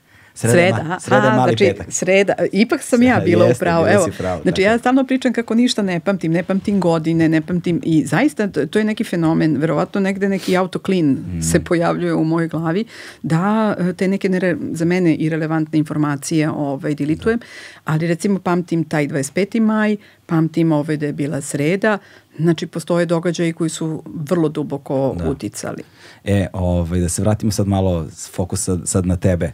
A, dakle, ti si, te, tebe prebacuju, dakle, uh, bila si to u uniformi, u Jeste, upravi, bila sam, da, da, da, u upravi e, policije. Ovaj, I zbog poznavanja jezika si prisustvovala, dakle, svim tim pre, da, ne svima, ali, ne svima, ali, da, ali velikom nekim. broju tih za, zbog uh, pregovorima razno razne stvari koje su i, i prevodila. Zapravo mi prvi put imamo strance da ulaze u policiju, jer do tada to nije bilo, mislim nije to bilo da. uh, bivša uh, Jugoslavija, mislim to je, su savezni organi držali, pa je tu bio neki Interpol, oni su nešto komunicirali, ali to nije bilo ono kao ti komuniciraš. A bila je veća i moćnija zemlja Tako i nije je, sve je bilo drugačije. Da, i nije dozvoljavala tek tako da im neko uđe unutra. Znaš, tako je, tako je, tako i taj, to, taj novitost je bila da, jako. Da, vidiš, vidiš, ovaj, nisam razmišljao o tome, to je prvi put da, da su stranci ušli fizički. To je prvi put da su fizički stranci ušli ovaj, u, u naše, ajde da kažem, prostorije. Da, da, da, čoveče, kako, šta se sve dešavalo u to vreme. Mm. Ovaj, zbog, zbog svog obrazovanja, zbog poznavanja jezika i kao prva žena u brojnim slu, u službi, unutar brojnih uh,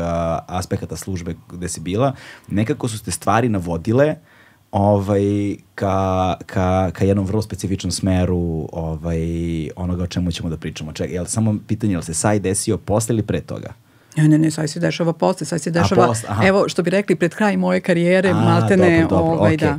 I, ovaj, a, a, ti si zapravo osnivač, osnivačica a, a, pregovaračkog a, specijalnog tima, specijalnog pregovaračkog tima za talačke krize, je li tako?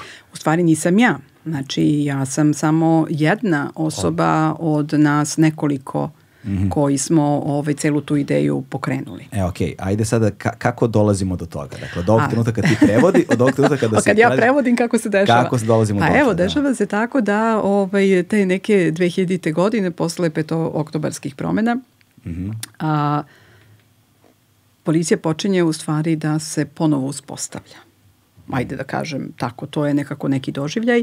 A, prvo se stvara grupa Poskog, posle toga ovaj, to prerasta upravo za borbu protiv organizovanog kriminala i tada... To je pre nego što je postala SBPOK pre nego što je postalo. Prvo je bio UBPOK, to je 2001. godina. I ove, mene zovu da se vratim, što kažu nas koji smo tako iskomunicirani bivali negde, ovaj, da se vratimo i da radimo ono što, zašto smo se školovali, mislim ja sam završila umeđu vreme Policijsku akademiju i tako dalje, da se mi vratimo na naše poslove. Mm -hmm.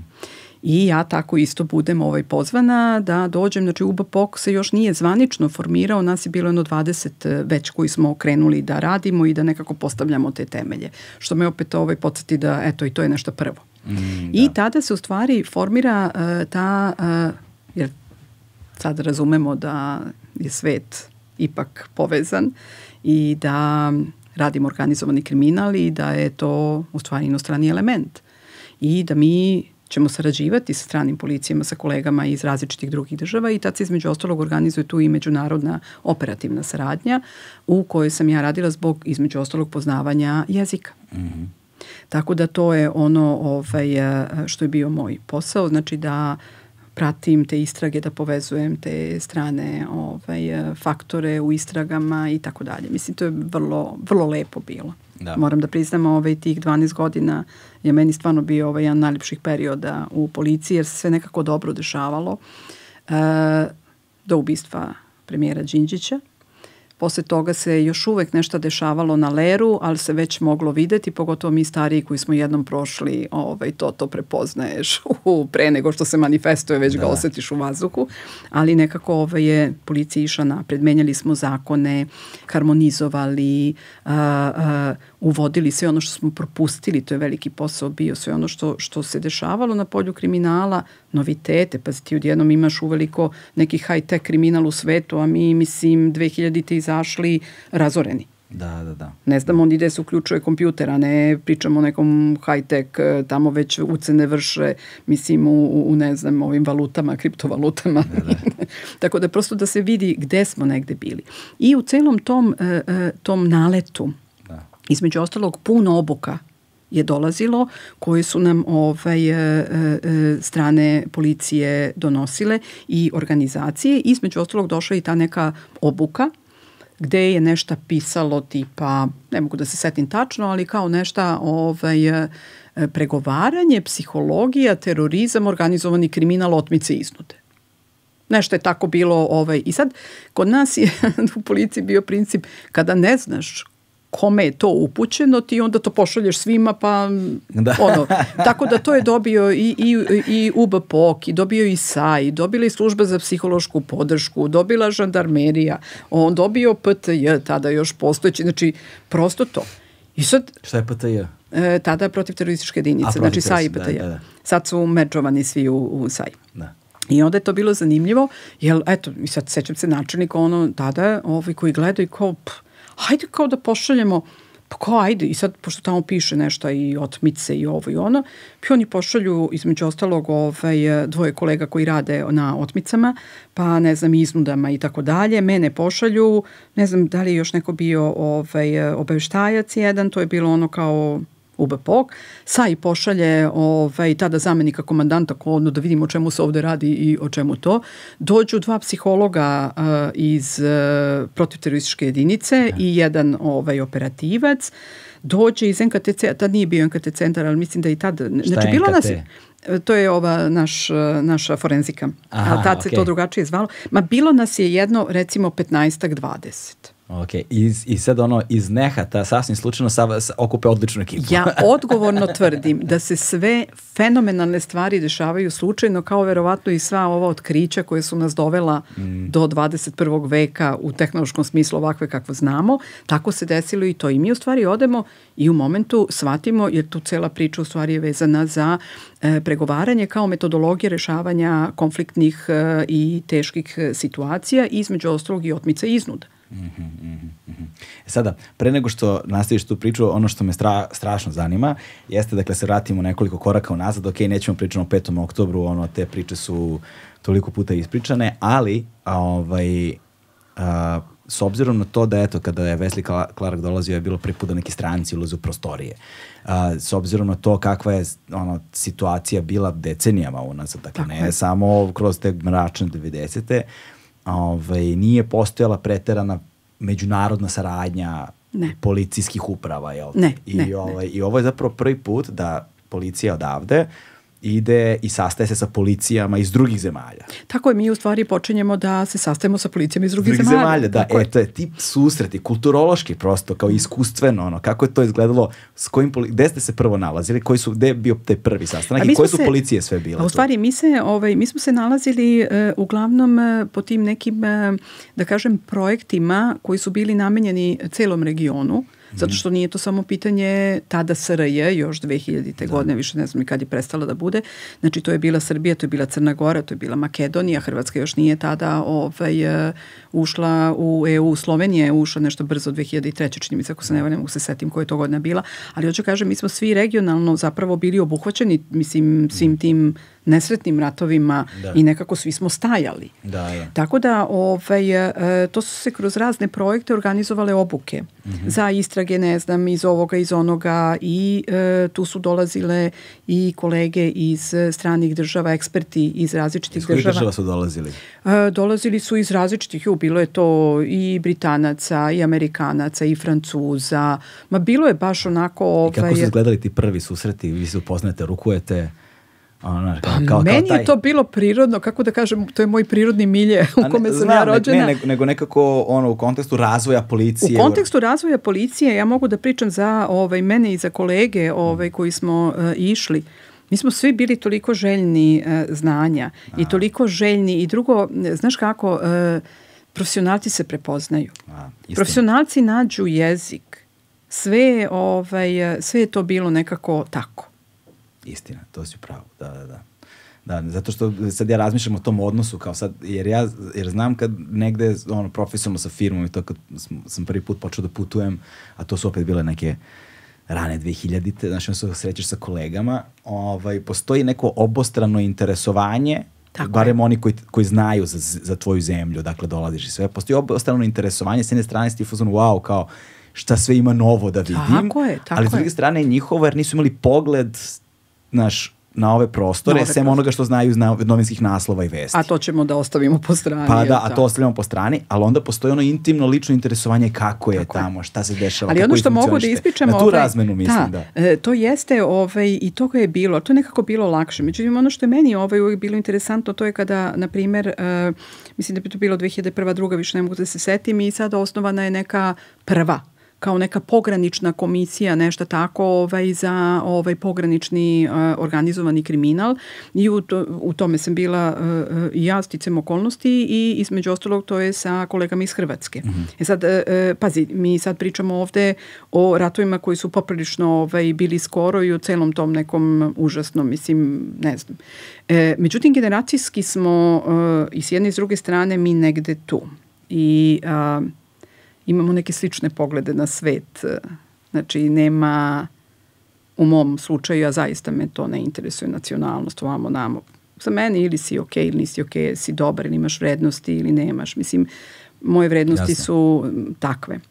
I sada sećam se da e, tadašnji načelnik e, Vukovarsko-Sremski, kako se zove ovaj oblasti, kako su se oni već tada bili ovaj, e, e, e, mi smo imali nekoliko sastanaka i sve to i sad između ostalog ono dogovaramo kako ćemo i tako dalje i sve to zaista protiče, mislim, vrlo profesionalno i svi želimo da vratimo, negde se vratimo u normalu, da prosto ono, neko, da. da dišemo i tako dalje. I sećam se ovaj da, e, kaže on ovako, e, Tanja kao ovaj, e, trebalo da se ide u Sloveniju, to jest e, e, trebalo da se idem u Sloveniju, ne, ne, ne mogu da setim šta je bilo ovaj, ne, neki od e, nekih sastanaka, nešto, neka konferencija vezana za organizovani kriminal i kaže on, nemoj slučajno ovaj, kao kad budeš išla da ne svratiš da popijemo kafu, mislim, jel prolazimo kroz Hrvatsku, jel da bismo išli u Sloveniju. I sećam se kolega ja smo krenuli Ja sam se javila, rekao vidi žurimo, rekao ovaj, stvarno, rekao ovaj, ne možemo, rekao žurimo da stignemo, međutim on pošalje patrolu i ne dolazi u obzir, imate da dođete i on nas vodi na ručak koji organizuje u Vukovar. Mm -hmm. I sada mi dolazimo, ja prvi put vidim Vukovar koji izgleda kao 90, pretpostavljam i treće, četvrte, kako je već izgledao, one grozne scene iz filmova. I jedino šta su već počeli da renoviraju, to su prvo re, počeli da renoviraju okolo po tim selima, kuće i tako mhm. dalje, ali sam centar Vukovara je potpuno razrušen, znači kamen na kamenu ne stoji i to što je bila verovatno robna kuća, šta je već bilo, to neki središnji deo, e to je se isto renoviralo i tu se nalazi između ostalog ovaj, i restoran. Mm -hmm. I sada mi dolazimo tamo i ništa sednemo, se otkrene priča, a televizor stoji sa strane. I sad krene ovaj priča, mi nešto pričamo kako ćemo, gde, ne znam, e, poslove naše, kriminal, e, kako ćemo da sarađujemo, kako ćemo mi sada to sve. U jednom momentu sa televizora se čuje, ja mislim bio Šešelj, koji priča da ne odustemo mi od kavovac, kavobak, vitica, ovo ono, odjednom tajac sa stolom. Dnevnik, da, jel, da. prenosi. A kolega Marijan preko puta ovako jede supu, pogleda mi i kaže, a čuj stara, da mi ne renoviramo ovaj Vukovar još. I ja se sećam, ja sam tada htela da umrem od smeha, ali u suštini sa onom teskobom da, koju sam da. osetila, da smo svi osetili, a to je sa kakvom lakoćom mi nešto što, ne znam, eto tako, da, Da. Kako kaže, ovaj, najkraći put između dve tačke je prava linija, a najkraći put između dva čoveka je humor. Da. Znaš, to Ali to je onaj crni humor, to je u stvari onaj deflektivni humor koji te održava, znaš, u životu pred uh, uh, težinom uh, nečega što imaš iskustvo da je jako, jako loše i da. u svakom pogledu, znači na svakom nivou i nekako mi je ta anegdota ostala onako mm. kao neka vrsta metafore za Balkan. Da, da, da. Ali sposobnost da se šališ na svoj račun i uopšte da, da teške situacije Tako izraziš je. kroz humor je govori o veličini jednoj. Osim u privatnim životima kada je to mehanizam. ovaj, Tako je. Pa pazi, odbrane. mehanizam je i ovde, znaš, jer nekako ti e, e, kada bi bili u kontaktu sa svojim emocijama u trenutku kada se zaista nešto ovaj, teško i veliko dešava, nas bi preplavilo. Mm, da. Znači, nas bi preplavilo, ti negde u tom trenutku se braniš uh, i sada svako se brani na onaj način koji mu je svojstven, a defleksija humorom je, čini mi se, najzdravija način odbrane u tim nekim najtragičnijim uh, trenucima. Ima smisla, ima smisla. Ove, ovaj, I da se vratimo na temu, vi se sad okupljate, počinjete da pre, ono, ne pregovarate, nego da, da, učim, da, da se učite, obučavamo. da se obučavate, da razmenjujete znanja da. ili da stičete znanja prevashodno. Ovaj, I negde zbog tog tako organizovanog kriminala koji je zapravo međunarodno povezan, vi shvatate dakle, važnost u međunarodne povezanosti policijskih uprava ovaj, i počinjete da kreirate u tom trenutku, dakle svi ste dobili dopise, nešto nepoznato i počinjete da kreirate šta, šta, koje pa, u stvari, javlja? mi smo, ovaj, kada smo prošli uh, tu, tu prvu nedelju ovaj, obuke, kad smo shvatili šta zapravo mi učimo, šta nas uče, šta nam pokazuju, Znači, bukvalno smo se svi saglasili u tom trenutku, pa to, to nama treba. Da, da, da. Pogotovo što smo prepoznavanje. Znači, područje smo koje, ho, ho, hoj, ima otmice kako hoćeš, da. iznuda ucena, gde terorizam, hvala Bogu, ali nikad ne znaš jel za Boga u takvom si okruženju i sve je moguće u svakom trenutku, gde e, e, nasilja, razne vrste nasilja, barikadiranja i tako dalje, nešto što je kao dobro jutro, plus tu su suicidi, znači sve ono što ovaj, što se zovu krize manjeg intenziteta, ali su krize na koje ovaj, reaguješ. I tada ovaj, smo u stvari se toliko uh, uh, zainteresovani i onda je svako u svom, da kažem, uh, departmanu preneo tu ideju kako je to super, kako ovo, kako ono.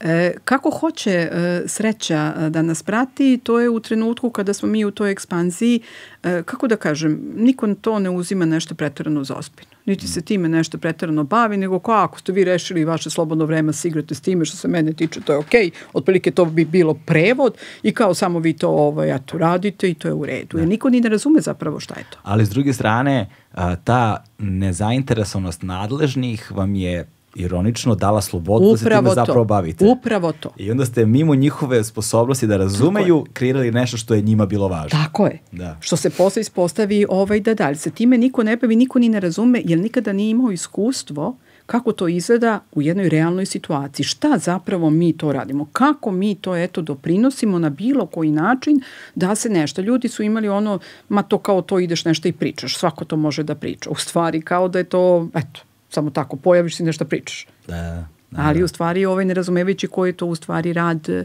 e, i znanje koje stoji iza. I mi smo tako ovaj, prolazili kroz razne e, obuke, između ostalog ovaj, e, e, pitanje je bilo i modela zato što e, kod pregovarača, znači u svetu imamo različite modele. Imate e, ono modele gde su pregovarači u sklopu specijalnih jedinica, mm -hmm. pa onda idu za šta god treba ali služe prvenstveno ovaj, za ono zašto je specijalna jedinica namenjena, znači za te visokog intenziteta. I pregovarači koji su, što je većina modela, pregovarači koji su u stvari e, e, obučeni ljudi koji rade svoje svakodnevne poslove i kada se desi situacija koja omogućava ili zahteva pregovaranje, to je ad hoc posao, znači oni napuštaju svoje radno mesto, idu, bave se ovaj, rešavanjem te krize i posle se vraćaju na svoje radne obaveze i mi smo se nekako odlučili za taj model, daje nam širinu, mogućnost izbora pregovarača, a, a, jer oni zaista moraju negde budu birani po nekim određenim kriterijumima, ne može svako to da radi, a i ne želi. Mm -hmm, Tako da. da, ovaj, eto, to je negde bilo to. I onda smo mi napravili taj ad hoc model i zapravo kreiran je prvi pregovarački tim Ministarstva unutrašnjih poslova, gde smo mi dobili rešenje od strane ministra da, ne znam, sve ono ko je koordinator ovo ono da da da i ovaj i uputstvo prvo koje smo napravili a to je da se zna znači to se onda šalje svim uh, jedinicama na terenu uh, kada se angažujemo na koji način se angažujemo koje su to situacije za koje nas angažuju i tako dalje pošto ljudi nisu bili upoznati sa time Šta to znači? Mi smo već počeli da bivamo povremeno angažovani, ali još je to bilo malo, još je naša vidljivost bila negde ovaj, mala u policiji, ali zato mediji, njima to nije bilo, oni su pratili i nekako znaš, kad ono se desi neka uh, spontana sinergija ovaj, na najbolji mogući način. Mm -hmm. I onda smo ovaj, držali obuke, uh, nas nekoliko smo išli, ono svih 27 policijskih uprava smo držali ovaj, zapravo obuke da im objasnimo šta to znači, koji je benefit koji imaju od uh, angažovanja pregovarača, da razumeju sistem rukovodđenja u kriznim situacijama, jer to je takođe bilo ovaj, ko, ko je nadležan za šta. Pazi, mi ovde govorimo o mogućnosti da se neki životi izgube, znači neko mora snosi neku odgovornost, da bude nadležan za nešto, da preuzme na sebe to. I prosto, ovaj, eto, da ih tu negde edukujem. I stvarno je bio jedan period koji je bio, mislim, kad Kojim kažem... godinama govorimo to? E, ovde sad pričamo o nekom periodu, recimo, od 2000 šeste, pete, šeste, pa nadalje. Ok, ok. E sada, a, pošto postoje određeni kriterijumi na osnovu kojih se biraju osobe koje bi mogle da budu pregovaračkim timovima, koji su to kriterijumi za, da bi neko bude u da. pregovaračkom timu? Pa mi smo ovaj, kasnije te kriterijume još malo poštrili u početku, ovaj, uh, ali prva i osnovna to je dobrovoljnost. Mhm. Znači, e, važno je da neko prepozna da je to nešto što bi voleo da radi. Onda bi obavio razgovor sa bilo kim od nas, da mi vidimo e, šta je to što motiviše osobu da negde ovaj, to radi. Ali ono što je najvažnije jeste bilo da prvo bude neko ko ima iskustvo u operativnim poslovima u smislu e, rada sa različitim kategorijama lica, znači ljudi koji su iz operative. Drugo, e, pregovaranje je posao sedi glava. Mm to je uh, bilo malo teško uh, ljudima da razumeju. Znači imaš puno iskustva, već si negde zreo, imaš svog ličnog životnog iskustva, neke vrednosti si učvrstio i drugo, ovaj, malo si prevazišao svoj ego sujetu i sva ostala čudesa što u policiji zna da bude onako poprilično ovaj, istaknuto. Svuda ume da bude. Svugde, da, da ali ovo su te afektivne službe, da to brzo dođe negde do izražaja. Znači, uh, da imaš godine, da si elokventan, da imaš uh, jedan širok dijapazon reči i mogućnost da se šaltaš na toj skali, jer ti pregovaraš i sa nekim ko ne znam, možda nema ni osnovno obrazovanje, ali pregovaraš i sa profesorom fakulteta.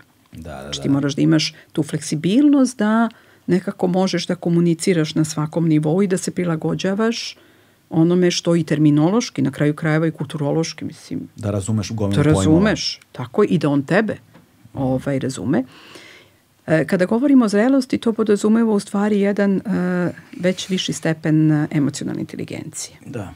I to je ono razvijene samosvesti. No, a tu smo, tu smo, tu, a, tu, tu loše stojimo. Tu loše stojimo. e, zato smo mi, između ostalog, ovaj uveli i psihološke testove. Mm, da. Tako da svi koji se prijave, prođu neku prvobitnu selekciju i tako dalje, onda prolaze i psihotestove i pošto smo mi oformili našu obuku za pregovarače, koju smo prilagodili našim potrebama, i to je stvarno sjajna obuka, mislim da je bila najbolja u regionu, jer sam dolazili pregovarači iz celog regiona da se ovaj obučavaju.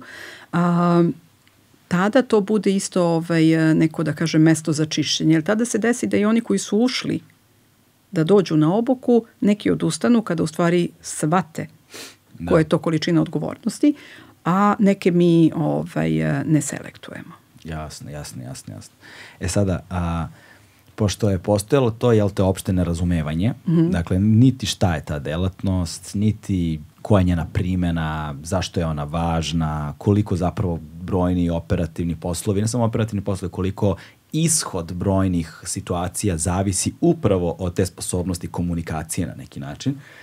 Koji su bili prvi primeri na terenu kada je služba zapravo počela, počela da prepoznaje vaš značaj? I koja je tvoja uloga bila? To me zanima. I kako izgleda, kako, a posjećamo kako izgleda tvoja prva iskustva. Da, pa dobro, to jesu neka moja prva iskustva. Ovaj, ja mislim, jedan od prvih primera, to se sećam, to su bili natpisi u novinama, krvavi pir u Gajdobri, to se dan dana sećam. Prv, krvavi pir u Gajdobri. A, u Gajdobri. Znači, e, šta se dešava? Dešava se da e, što ljudi znaju, imaju oni te dopise, ali kao što kažeš još ni ne znaju šta zapravo.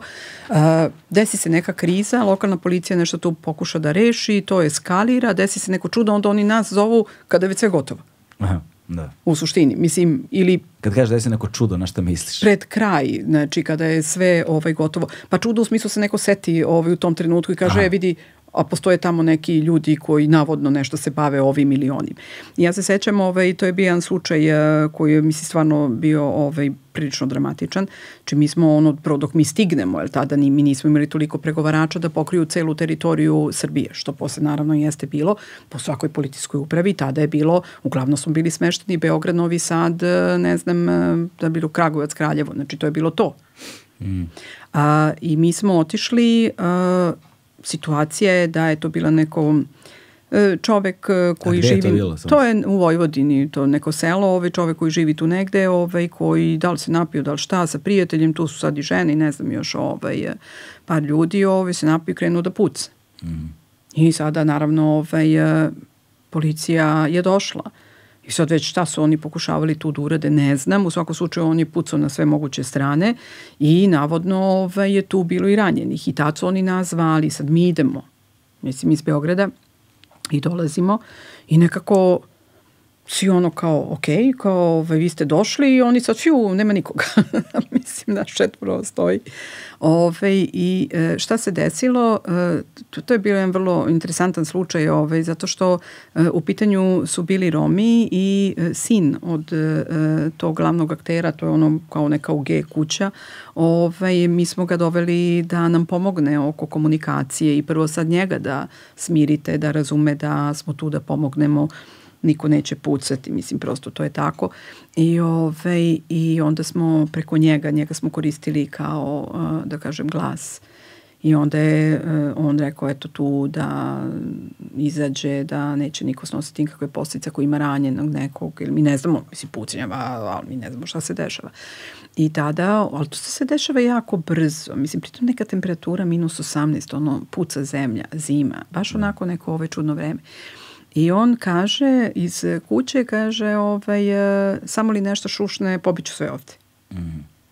I mi kao ništa, niko neće da šušne, sve je okej. Okay. Mislim, ja ne znam, sad ovo je stvarno ono filmsko negde priča. E, na ulazu ispred e, e, e, te kuće nalazi se ona metalna kofa za, sad zašto, džubre neko, nešto tu. I sve to ide polako, mislim, ono kao sin priča, kao niko neće ništa. I odjednom se neka mačka pojavi koja skoči ovaj, u tu kofu, a tu je bio neki šuškavi papir celofan. I kako se taj zvuk proneo, tako je samo krenulo ono fiu, fiu pucanje na sve strane i naravno mi šta ćemo, jer pazi, ti pregovaraš, ali ako se desi tako nešto, ti onda ulaziš u svoju ulogu ovaj, uh, policajca koji ide da reši. Mi krenemo da upadamo u kuću. Mm -hmm. I u tom trenutku izlazi žena i ja vidim kako sam krenula ovaj, da izlazi žena, ja uzmem, jel, frca sa sve strane, ja uzmem i povučem je iza zida i ona je potpuno unezverena i ja kako je držim, ja osetim nešto vrelo u rukama. Mm -hmm. Ona je imala tri prostrelne rane Uje. na telu. Ali ona je sve vreme stajala, znači, to, to, je, to je baš bilo ono neverovatno. I sad debitno, suština je što je ovaj čovek je pucao, on je ubio tog svog prijatelja, u tom pucnjavu rikošetirao, pa je ranio još dvoje ljudi. Mm -hmm.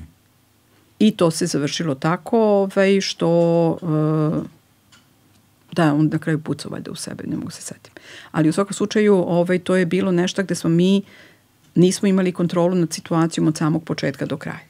Jasno. Nego smo došli na nešto što je već bilo ovaj, razvijeno i eto stice okolnosti. To, to pamtim kao onako... Da.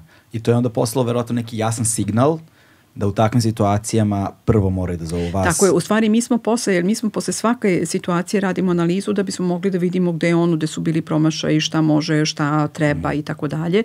Svesni da je to u stvari, ovaj, mislim, početak i da se ljudi još ne stalaze.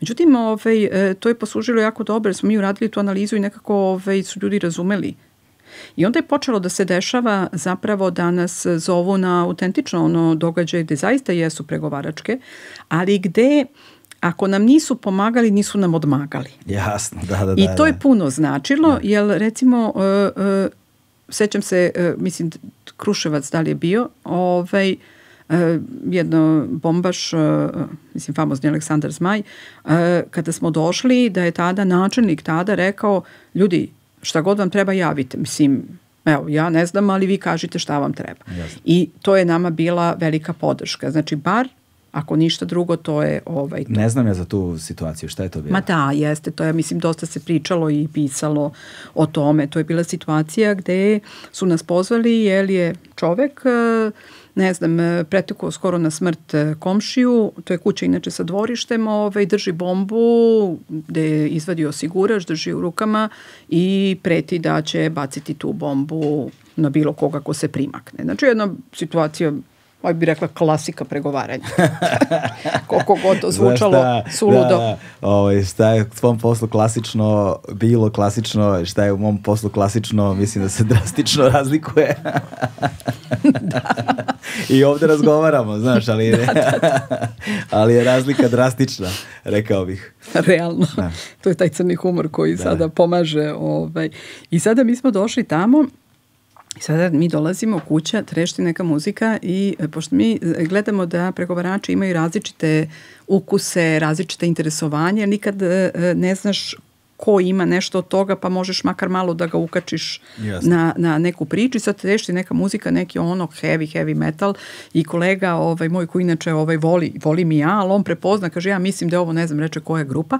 I rekao ajde kada se ovaj, malo ostiša muzika, što se desi u nekom momentu, on krene da priča s njime, a jer to sluša što i to, pa onda ne znam, mi se predstavimo uvek, kažemo ko smo, šta smo, zašto smo tu i tako dalje. Znači I sad, kolega metalac kolega metalac, ali u fullu metala. On je tako i obučen. Međutim, mi dobijemo među vremenu ove informacije, naravno pozadinske službe rade sve što nam ovaj, da je u pitanju ovaj čovek koji ima dijagnozu, koji je ovaj, šizofreničar mm -hmm. i sada razumemo da ovaj, je to to je sad već neka druga priča. Da, tu se znači, vraćamo na početak razgovora, o tome smo pričali je. pre što je snimanje počelo zapravo. I tačno, da, pričali smo ovaj, o gestikulaciji. Da, kako sad tu govor tela igra ulogu. Da.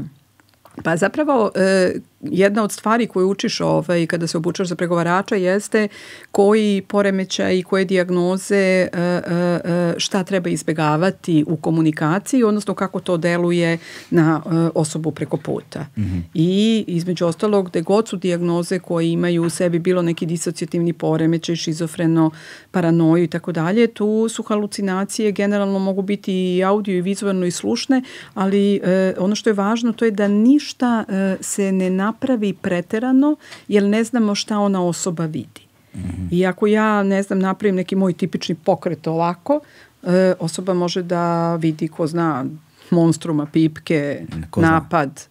Znaš, i onda se izbegava sve, tako da tu i onako ne gledaš direktno, ne piljiš, nego si blago po strani da se ne oseti ovaj, ugroženim. E, nekako ima to ovaj, sve svoje.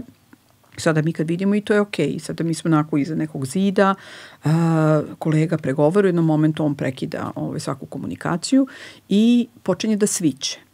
Aha, vi ste tamo, tamo stigli Čim neko... smo stigli nešto uveče 10 sati i sad već počinje da sviće, već negde znači, 4 ujutro. Tu celu noć ste da, da, da, da, da, da baš celu noć. I kako se razdanjuje, primetimo kako e, on onako kad baci pogled, jer se već naviko, bito je da se on navikne da smo mi isti ljudi tu. I on baci pogled i ovako nekako me obuhvati pogledom i verovatno je tad prvi put video da sam ja žensko ili da je nešto drugačije. Mhm. -huh. I mi iskoristimo to ovaj, da krenemo da pregovorimo. Mi smo stvarno ovaj, pričali koliko je moguće. E, ono što je bila njegova, a, a, da kažem, manitost i fantazija jeste da e, ljudi truju planetu, da truju njega, da mu truju psa, da truju drveće i onda on imao povremeno tako to uključi crevo i krene tako da pere drveće zapravo da bi ga spasio. I to je negde, ajde da ne duljim, ali ne, ne, neki kontekst zbog čega i ta osoba koju on napoje neko ko izrazito želi da otruje sve. Mm -hmm, da, da, I ptice i pevce i tako dalje. I mi smo nekako ovaj, pričali, stvarno e, pričao je, komunicirao je. I polako smo krenuli da uh, mu predočavamo da je okej, okay, da se ništa neće desiti, da ćemo mi voditi računa o, o njegovom drveću, o psu i tako, uh, da je okej, okay, da... On kaže, a jeste vi došli iz Beograda? Da. E, Pa da, da mu je otrovana krv, pa onda kažemo, ok, uh, uh, želiš li da ti uzmemo krv, da uradimo analizu, mislim da imaš potvrdu toga što pričaš. I sad pričaš u onoj meri ukoliko vidiš da njegova racionalnost koja čas skače, čas pada, nekako može to da prati. I u jednom momentu se desi situacija da skoro, jer on sve vreme drži, znači, osigurač uh, u jednoj ruci, bombu u drugoj, znači, to satima. Da, celu noć on celu to drži. Bog te mas. Koliko je to stresna situacija? Pa stresna, evo vidiš, u tom trenutku ne razmišljaš o stresu. Stres dođe posle. Mm. I šta se desi? Desi se, e da, a umeđu vremenu ovaj, jedna kolega, e, e, e, specijalci su došli da pomognu, jer ovo je nešto što lokalnu policiju prevazilazi. I oni su polapko opkolili ovaj, tu kuću i čuti i čekaju da mi, kako ćemo mi to rešimo. U jednom momentu se desi jedna pogodnost, a to je, e, prvo smo primetili da svaki put kad uđe u kuću da sipa vodu, on vrati osigurač, ostavi bombu, sipa vodu, od, odnese, izvadi osigurač, drži bombu. Znači ima jedna rutina u onome šta se, ovaj, kako radi. I između ostalog, ovaj, ja kažem u jednom momentu vidi, evo koliko smo ovde dugo, vidiš i sam da se ništa ovaj, ne dešava, niko ti ne napada, niti imamo nameru. Ovaj, e, da li bi reko mogla da dobijem čašu vode? Ideja je bila da on u trenutku kada treba da mi donese čašu vode ispusti, ovaj, odnosno da tu bombu ostavi sa strane i da kolege ovaj, e, upadnu. I specijalnih jedinica. Da, da, da, da, da. Jer drugačije ne može da se reši. Da. Znači, to smo ovaj, shvatili. I on sad dolazi, mislim, voda je tu, nosi mi čašu, ali on ne ispušta sad bombu. Mm. Drži je, pa sad ovom rukom sipa čašu i, ovaj, i kako je vratio bokal, a on kaže, a, ti kao u onom filmu, a, hoćeš ovde da me zezneš? Ja kao, kako to misliš? Kao, a, zagovaraš me. Vrati on sve na mesto i ništa. Trajalo je to do nekog Našla momenta. Našla je kaća racionalnost da dođe. Tako je, ja, ali to, eto, to je to. Sad yes, vi, yes. Zato mi nikad ne znamo da li nešto traje 2 sata ili 22 sata. Da, znači, da, da. nema pravila. I onda ovaj, e, e, je doneta odluka da naj, prvi pogodan trenutak... Samo približi sebi mikrofon malo. A da, to ja bežim. Pri, privuci ga sebi slobodno. Da, da, da. da prvi pogodan trenutak ovaj, koje procene specijalci da ga savladaju. Mm. I sada tu mi imamo opet e, naš e, udeo. Znači, naše je da mu držimo fokus i pažnju dok se oni raspoređuju bliže. Znači, da ako je u kući, da ga pozovemo vani i tako dalje i to traje. I tako se i desilo. U nekom momentu ja sam čak prišla blizu ovaj ograde i tako smo pričali da prosto oseti da je sve okej. Okay. Koliko je bio udaljeno od tebe tada? Joj, pa mislim jedno 3-4 metra. Znači blizu? Baš blizu, da. O, to, ali zato ja kažem, uvijek pričam u terminima mi, e, nema veze ko priča. Mm -hmm. Suština je da je to ceo tim. I upravo ovaj, šta se dešava kolega koji je sa mnom, on me sve vreme drži, ovaj, što ja kažem, za pojas, da bi mogao da me cimne ako bilo šta krene. Jasno. I ako se ja, evo kao ovo sad što radim, da se odaljim i tako dalje, ako uh, ja ili bilo koji pregovarač, mi mahinalno krenemo, Da, da, da, da. Da izađemo mi iz eh, bezbedne zone da može da nas vrati. Jasno, jasno. Ali ovo sad ima neki svoj drugačiji kontekst i mi pričamo, kolege specijalci se raspoređuju, sad ja taj deo ne vidim. I šta se desi u jednom momentu, ovaj, obruši se neko staklo, jer ona kuća je toliko trošna i on od priče okrene se, krene ovaj, eh, prema zvuku, međutim oni su skočili već s jedne strane u dvorište, s druge iz kuće, to gde su pokušavali da uđu. Kaže tamo, kasnije kad su pričali, kaže bukvalno šta god odine što se sruši. Da, da, da. Znači šta god odine što se sruši i uspeli su da ga ovaj, bezbedno savladaju. Meni je recimo stres bio tih nekoliko sekundi jer on drži grčevito bombu, ovaj, ne pušta, znači dok nisu taj deo, je se shvatila da, mislim, odoše kolege, znači, tako Jasne. da, eto, i to je recimo kako, kako je to funkcija. Posle smo čuli, čak smo dobili informaciju da je on pre nekoliko godina umro, ovaj, uh, uh, Aleksandar Zmaj, da li bio na psihijatrijskom ili gde već. Jasno, jasno, jasno, tragično, da. Mm. Ali sad me zanima, em, da kako sve vreme govorimo o tom odloženom dejstvu, odnosno odloženom efektu, suočavanju sa, to su visoko stresne situacije, Da. to su izrazito traumatične situacije i ta vrsta napetosti, neizvesnosti a, je nešto što sigurno budi određena anksiozna stanja i znaš, kako, kako, u kom trenutku prepoznaješ počinješ da prepoznaješ dakle to odloženo emotivno dejstvo, emocionalno dejstvo i kako se ono odražava u tvom slučaju ili u slučaju tvojih kolega i kako ste se sa time suočavali, odnosno s- rešavali te stvari. Pa svako na svoj način. Ono što obično radimo ovaj, i to je um, da kada se završi uh, situacija, uh, obično traje jako dugo i ono što mi uradimo, mi prvo napravimo neku mini, mini debrief. Ono, uf, evo, moglo je da se desi ovo, moglo ono, izbacimo u stvari sva ona neka strahovanja, šta je sve to moglo da se desi, šta je već kome prolazilo ovaj, kroz glavu i to je to. Uh, I onda uh, kad odspavamo, e, onda se nađemo i onda u Da li stvari se... spavanja uopšte? Pa da, i to je sad dobro pitanje, u suštini ga više nema nego što ima, jer mi kao aj dobijemo mi kao neki slobodan dan, mislim da baš ne moramo odmah ujutru na posao, ali najčešće kažu ok, spavaj do 11, naspavaj se malo, pa dođi. tako da, E. da, i onda dolaziš na svoj normalan posao, pritom moraš pišeš izveštaje o situaciji gde si bio i tako dalje. Tako da, e, ono što je puno značilo, to je, ovaj, mi smo imali psihologe u timovi koji su u stvari negde ovaj, e, nas pratili i bili su tu za nas. Koliko su ti psiholozi zaista bili uključeni u to i radili taj posao? Pa e, kasnije kada smo malo, e, kako da kažem, i, i, jel, treba naći i adekvatnog psihologa, kada jesmo, to zaista puno znači. E, sad, Ali druge- zaista puno E, sad, znači. ali ono što sam siguran da je postojalo, ovaj, jedna, jedna od prvih i osnovnih stvari u vezi sa terapijom ovaj, a, je u tome da onaj koji ide na terapiju želi da ide na terapiju. Znaš, Mhm. A kada se tebi terapeut dodali po službenoj dužnosti zo, zbog određenih situacija, ali to nije terapeut po službenoj dužnosti, nego to je član tima. aha, član vašeg tima. Da, da, neko- da, to je psiholog koji prošao obuke sa nama da bi video šta mi radimo, kroz šta mi prolazimo i e, uloga nije samo vezana za nas, Mhm. nego uloga psihologa je vezana i da analizira a, a, a, onu drugu stranu. Jasno, I da nam daje neke smernice nečega što mi niti znamo možda po prirodi ovaj, jer nije naša profesija, a sa druge strane e, da možemo da promenimo način e, kako o, pregovaramo. Da, koliko su ljudi unutar službe bili otvoreni za razgovore sa, Sa psihologom. Sa psihologom. Pa mislim da je to počelo da se menja u poslednjih uh, deseta godina. Mislim da jeste.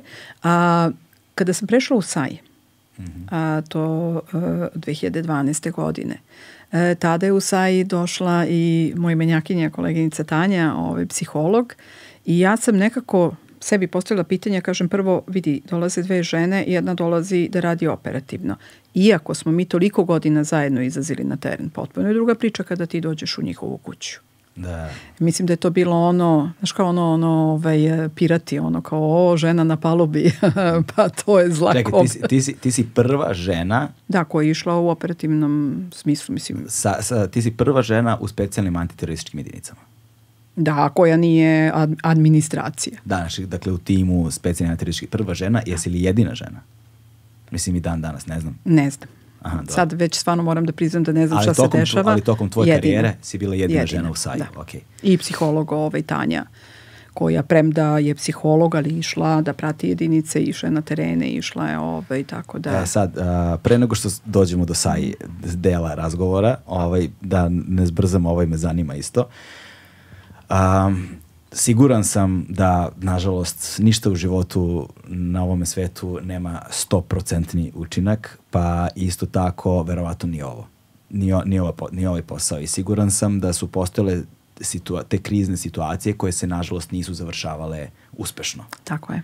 ovaj, a, a, ne moraš nužno da ih, da, da, ih, da, ih, da ih opisuješ, ovaj, jer to nije poenta, ali me zanima kako kako se suočavaš sa time, kako se nosiš sa time, kako rešavaš to, koliko je, koliko danas, evo sad iz ovog ugla, kada mm. posmatraš unazad, je to zapravo ostavilo nekakve posledice?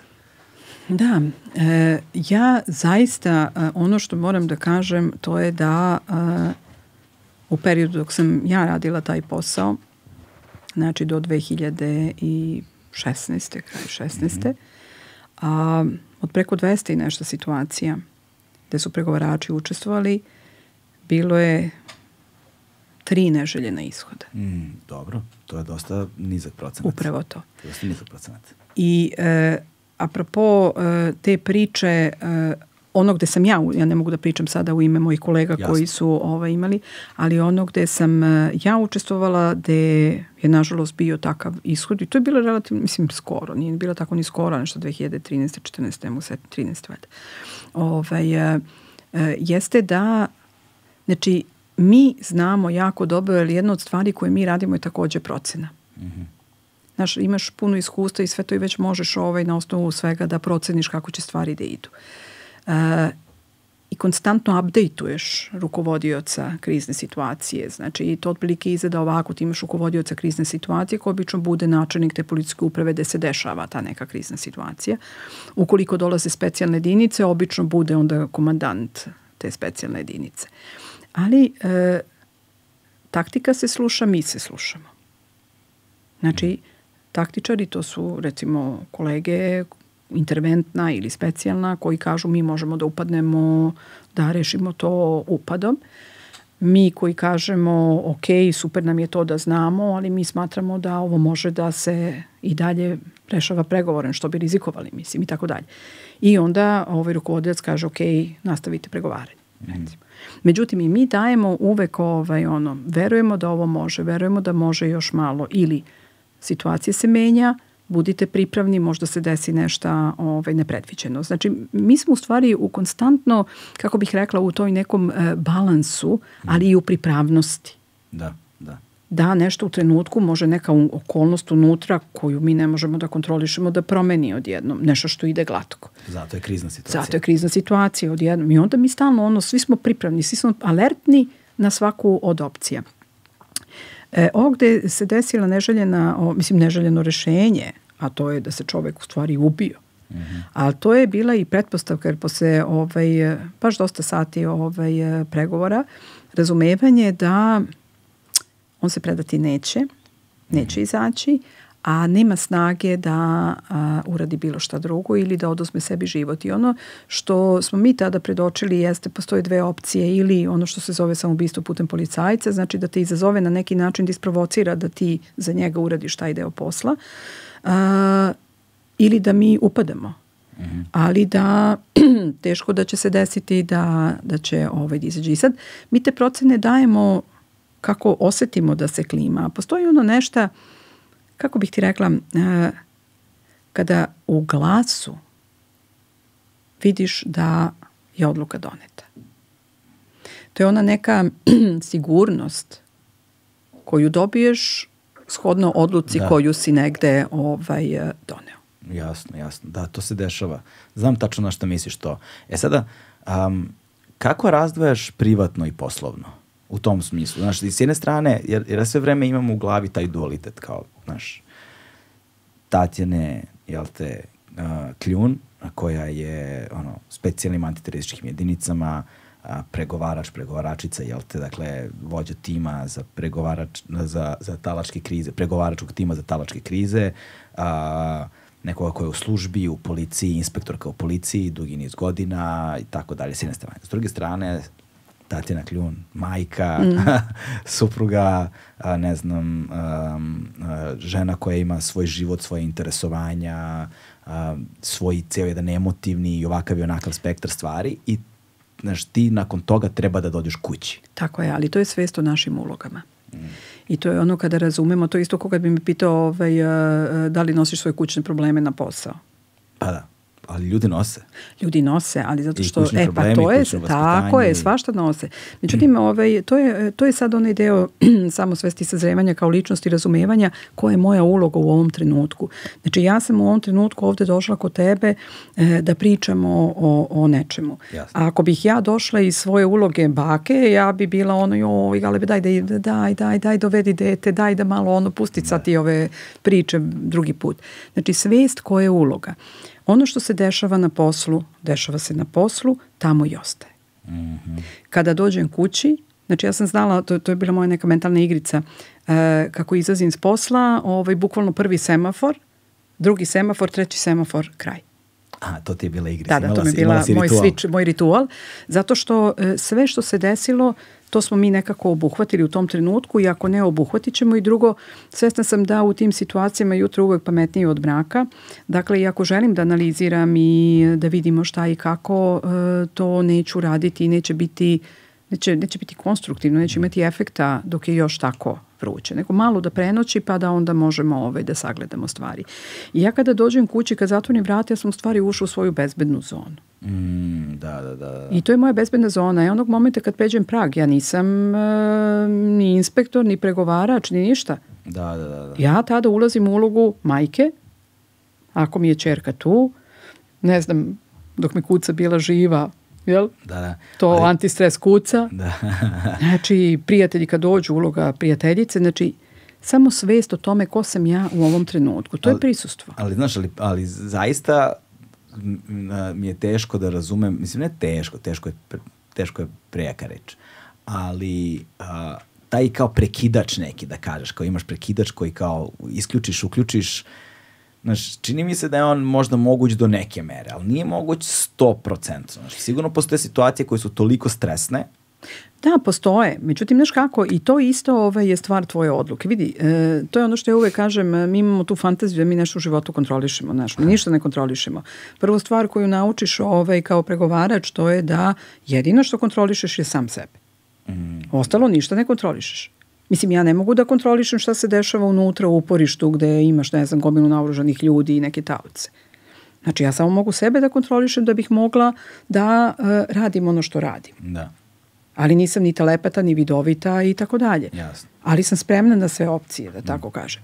I kroz to neko učenje, ovaj, e, e, prvo svesna sam svojih emocija i svesna sam šta se dešava u meni, da li me je pogodilo, koliko me je pogodilo, na koji način. I to je okej, ja to ne negiram, ja to uvažavam. Ali ih ostavljam za one periode kada ja donesem odluku da je sada okej. Jer ja neću da kontaminiram e, e, prostor ili moje druge odnose, moje druge uloge u životu sa nečim što ne pripada tu. jasno. I to je u stvari razumevanje da sve ostavljamo tamo gde je moje mesto.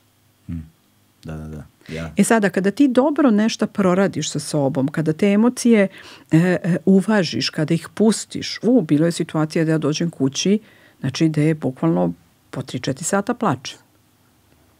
I okej, isplačem se, to mi je ono distres, što kažu, pustila sam to, e onda mogu ovaj, funkcionalno i vratim se, ali ne dok sam u ulozi jer mom detetu ne treba da ja pričam o tome, niti ja treba to da radim. Da, da. Tako da, A to je zanimljivo isto to, znači, dakle, te situacije o kojima evo sad govoriš sa ovom velikom vremenskom distancom s jedne strane i, znaš, nisu klasifikovane kao tajne, mislim, barem... ti Ne, pa novine su pisale, Ovo to no- su novo nešto stvari koje googlaš i nađeš, da.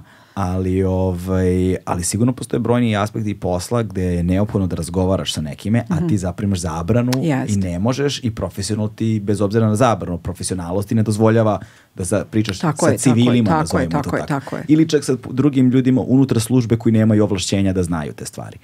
Kako to razrešavaš? Pa vrlo lepo, mislim, prvo uopšte nemam, ja nikad nisam imala poriv da budem tračara, znači, ja a- nemam taj, da, da, da, taj da. srpski gen u sebi razvijen, Da, da, to je negde da, da. ugušeno, tako da ja nemam to, a drugo ne zaboravi, ja jesam ovaj rođena, ja i moj brat, mi smo rođeni, ovaj, u, što ja kažem, naša porodica je bezbednostni sistem sam po sebi, tako da mi od malene imamo ono čuti, ne priče šta se kući dešava Da. i tako dalje, jer smo konstantno bili u tome i meni je to nekako, ajde da kažem, prirodni habitat, jel? Pa da, da, vidiš, Znači, ja zapravo taj- sve vreme polazim iz ugla nekoga ko ne razume prirodu karaktera osoba i, služ, osoba i Tako službe. je. Da, da. Mislim, razumevanje da, uh, uh, prvo zašto bih imala potrebu, uh, to je sad prvo pitanje, zašto bih ja uopšte imala potrebu, to je kao da si ti meni prijatelj i dođeš i poveriš mi neku svoju privatnu situaciju, onako podeliš u poverenju i koja je sad to moja potreba da ja odem, ne znam, da ispričam to peri. Ja, Mislim, zašto bih ja imala potrebu to da radim? Kamo sreće da je više ljudi poput tebe.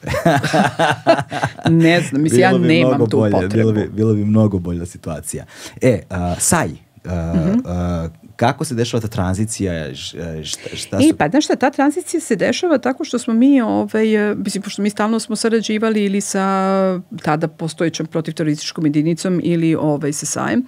U protivterorističkoj jedinici ovaj, koleginici iz pregovaračkog tima, ona koje, njih dve koje su bile ovaj, psiholozi.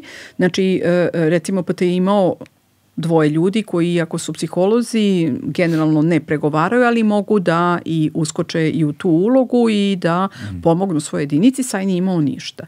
I ja uopšte ne znam kako, kako je došla ta ideja, ali znam, mislim, naš TIMUP je mesto gde se stalno vrše neke sistematizacije, reorganizacije. Ja mislim da je to proces koji, eto, 30 godina moga rada se konstantno dešavao. Mislim da je to sudbina svih velikih sistema, ono, Možda. postsocijalističkih država. Moguće, ali ja verujem da su u okruženju, da, ali ovo je ono apsolutno neverovatno nešto. Znači ovo je stvarno ono kao ne znam kad čitaš ove romane, kafkijanski malo. I onda mi je bilo ovaj, zanimljivo. taj postsocijalizam. To je taj postsocijalizam, da. I onda mi je bilo interesantno zato što ovaj, mi smo sarađivali, mislim ja znam sve te ljude, na terenu smo. I onda me je zvao ovaj, komandant eh, eh, tadašnjih ovaj, da kaže da eh, on želi da ubaci u sistematizaciju tu sad neku novu, da nešto modernizuju jedinicu i da želi da ubaci grupu za uh, pregovor. I u stvari smo pričali dosta o tome obzirom da uh, između ostalog naš pregovarač i dugogodišnji koordinator ovaj, je bio pomoćnik komandanta specijalne jedinice mm -hmm. i onda nekako, mislim, imamo sve te fine uh, veze, da, Na kažem. prirodan je sled. Na prirodan je sled, tako je.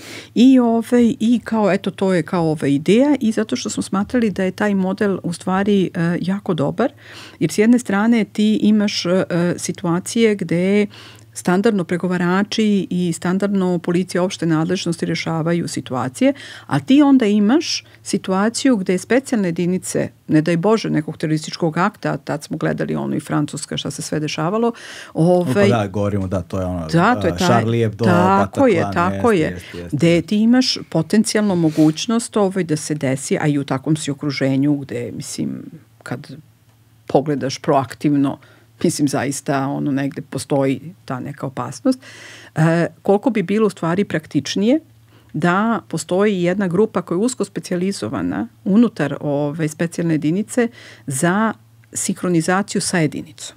Hmm. I da za te situacije kada je jedinica angažovana. Da je sada dve stvari. Prva je, koliko se sećam, rekla si mi a, da su dolazili Jesu, mi iz smo Francuske imali, nakon- tako je, tako je, mi smo imali ovaj, fenomenalnu saradnju, znači sa, ne samo u Saju, nego i, i uopšte kao ovaj, tim za pregovor, mi smo imali fenomenalnu saradnju sa pregovaračima iz eh, drugih, da kažemo, ovaj, iz drugih mesta. Između ostalog, u Evropskoj uniji postoji telo koji se zove EUNAT, a to je, ovaj, to je neka vrsta, da kažem, eh, eh, tela koordinacionog pregovarača Evropske unije. Zašto? Zato što e, pregovarači se svugde u svetu obučavaju na identičan način. Mm -hmm.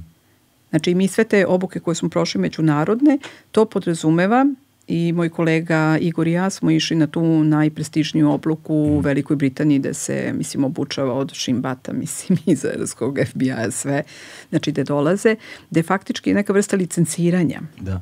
To znači da uh, gde god na planeti Zemlji se desi situacija i da recimo ima potrebe za pregovaračem iz Srbije i na primjer oni zovu mene ili bilo kog od uh, kolega. Da, jeste, da, mi onog momenta kada dođemo mi tačno znamo šta radimo. Svi radimo uvek to što Isto, radimo. Da. da. Zapravo, ne znam, Bože, ne znam, u Dansku ili upetam da se kri, talačka je. kriza gde je neka situacija uh, gde je neki Srbin Na primer. na primer i ona treba da se razgovara sa njime na maternjem jeziku što je Tako sigurno je, velika tako prednost je. odma Tako je. šalju vas odavde je li bila neka situacija da, ste, da, si, da si međunarodno ono, im- imala poziv da si učestvovala? Ne.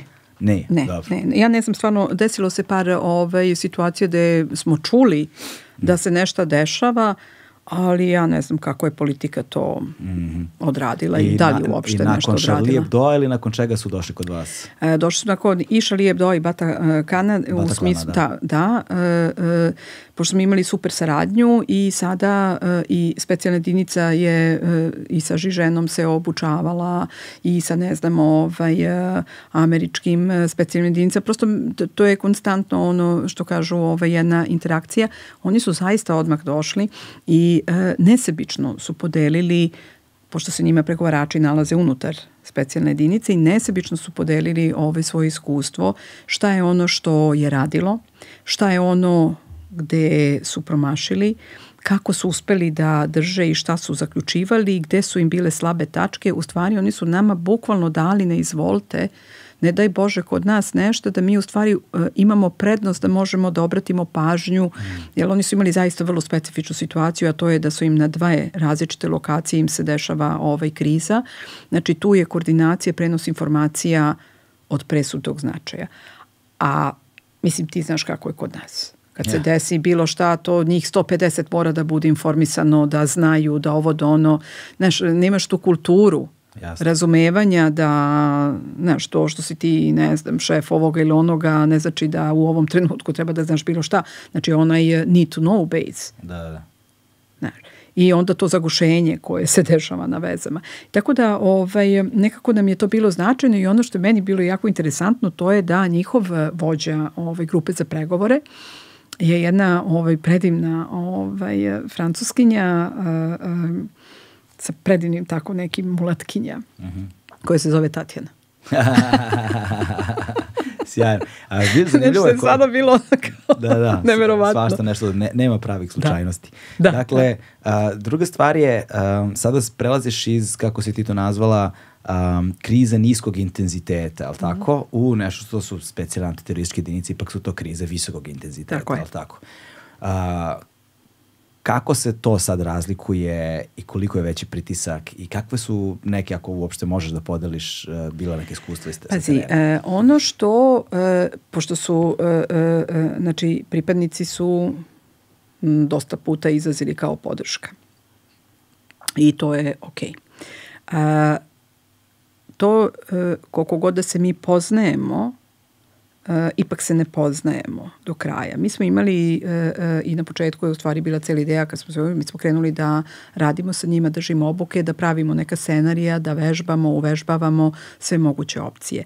Ali znaš, ono što je specifično za taj mentalitet i za te ljude jeste koliko god da si ti s njima radio, sarađivao. Što bi rekli, dok prvi metak zajedno ne osetimo, to ništa tu ne fercera. Ništa ne zbližava ljude kao kriza. u ovom slučaju, da. I stvarno to je tako i bilo. Znači, prvo uz poštovanje njihovih ovaj, običaja, ipak ja dolazim u tu kuću, svesta sam da dolazim kao prva žena tu i to je okej. Znači, od onoga da ispoštujem tu uniformu, da ispoštujem eh, kako se njima dopada, kako oni reaguju na to ili ne reaguju i tako dalje. I to je sve bilo okej. I onda kad smo imali par izazaka na teren, gde smo stvarno odradili fantastičan posao u sinergiji, nekako je to poverenje ovaj, bilo sjajno. I tu ima isto mnogo interesantna ovaj, jedna anegdota rešavamo mi neku krizu, e, isto je bilo neko barikadiranje i tako dalje. Ja sad ne mogu više setim da li je bila loznica ili šta je bilo i u svakom slučaju A šta znači barikadiranje u tom slučaju? to znači osoba koja se zatvorila ovaj, u određenu prostoriju i ovaj, naoružana je. Ok. Ima neke taoce ili... U tom trenutku nema. Ok. U tom trenutku nema da mi znamo. Čini mi se da, da, da, da u tom trenutku nema. U svakom slučaju, ja pregovaram telefonom. Znači dan je, ono sunce sija, neko lepo vreme. I sada to izgleda tako što e, e, e, kolega specijalac ima onu ploču ukoliko krene pucnjava, znači da svi budemo zaklonjeni. I sad on ide tako sa tom pločom, ja sam tu iza njega i tu se ceo, ceo tim onako tu, tu, tu, tu poređani i sad ja pričam, pričam, pričam i u jednom momentu mi smo stali negde gde je dobro mesto ove, i ja pričam, pričam, pričam i u jednom momentu ja se zanesem jer to sam ja znala ovaj, da uradim. Ja se zanesem i ja tapa, tapa, tapa, odem ispred ploče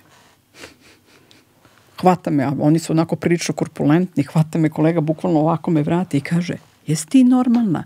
Hoćeš ti da mi komandant do kraja života uzima 20% od plate ako tebe ubije ovaj ovdje. Mi Što je, specijalci su posebna grupa. Mi ljudi. smo popadali od smeha, ali hoće kažem, to je tako dobro kao tako dobar antistres. Ovaj, ali da, lepo smo radili. Jel bila situacija kada ste, kako ti kažeš, podelili metak u smislu da se desila neka... Da, bilo su je, bilo je, na vas? bilo je, bilo je, bilo je. Da. Kako, Da. ka- kak, a, u- jel možda kažeš u kojim nekoj situaciji ili je to... Pa bilo je u par situacija, mislim, ali to je, kako da kažem, očekivano. Da. Ono što mogu da kažem, to je ovo jednoj koji se ovaj, dešavala u Kraljevu, ona je bila vrlo specifična situacija, gde, em, ali to se stvarno rešilo čistim pregovaranjem i koliko ta podrška znači ljudi ovaj, iz te jedinice, jer to je već malo drugačiji nivo igrice.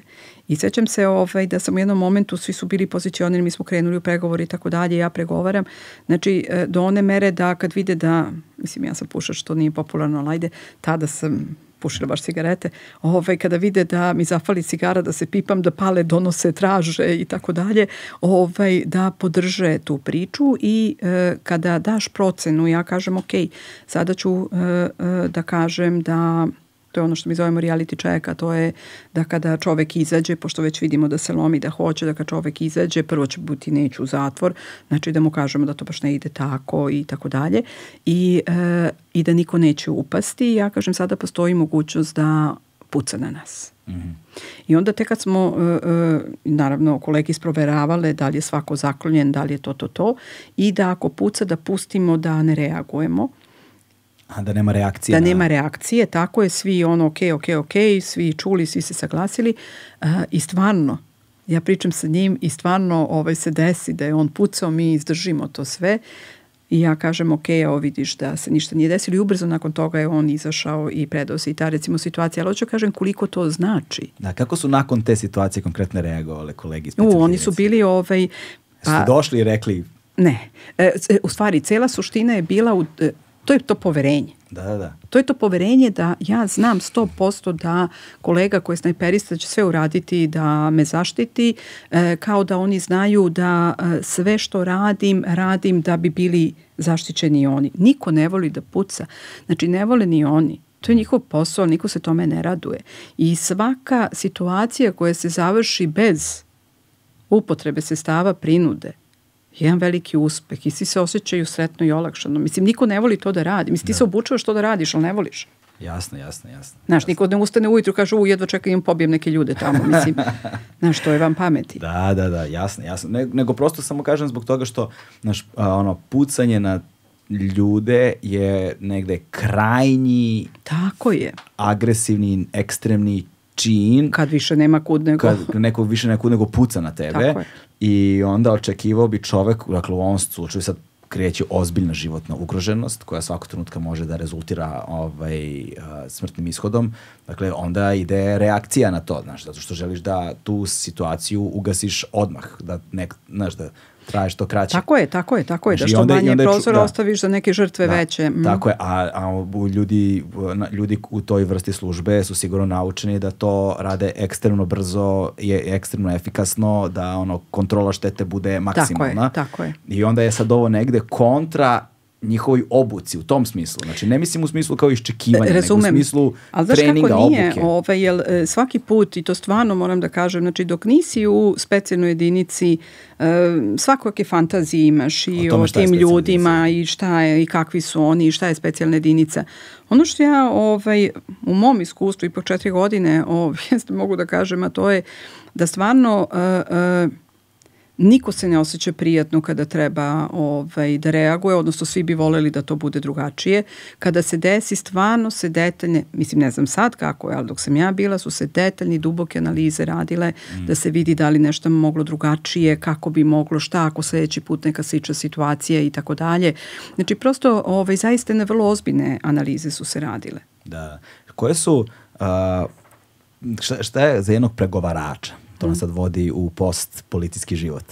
Ovaj, za jednog pregovarača a, ili pregovaračicu ili pregovarače, dakle, šta, je, šta su neki ono kao ob, obavezni elementi koje čovjek treba da zna, evo, kao neki savjeti, e, sutra ako pregovarate bilo što, da li posao, da li neku kriznu situaciju koja je ispunjena emocijama i subjektivnim dakle, odnosima, ovaj, je, je šta je to što treba, naša treba obratiti pažnju i šta su to prve stvari koje treba da uradite?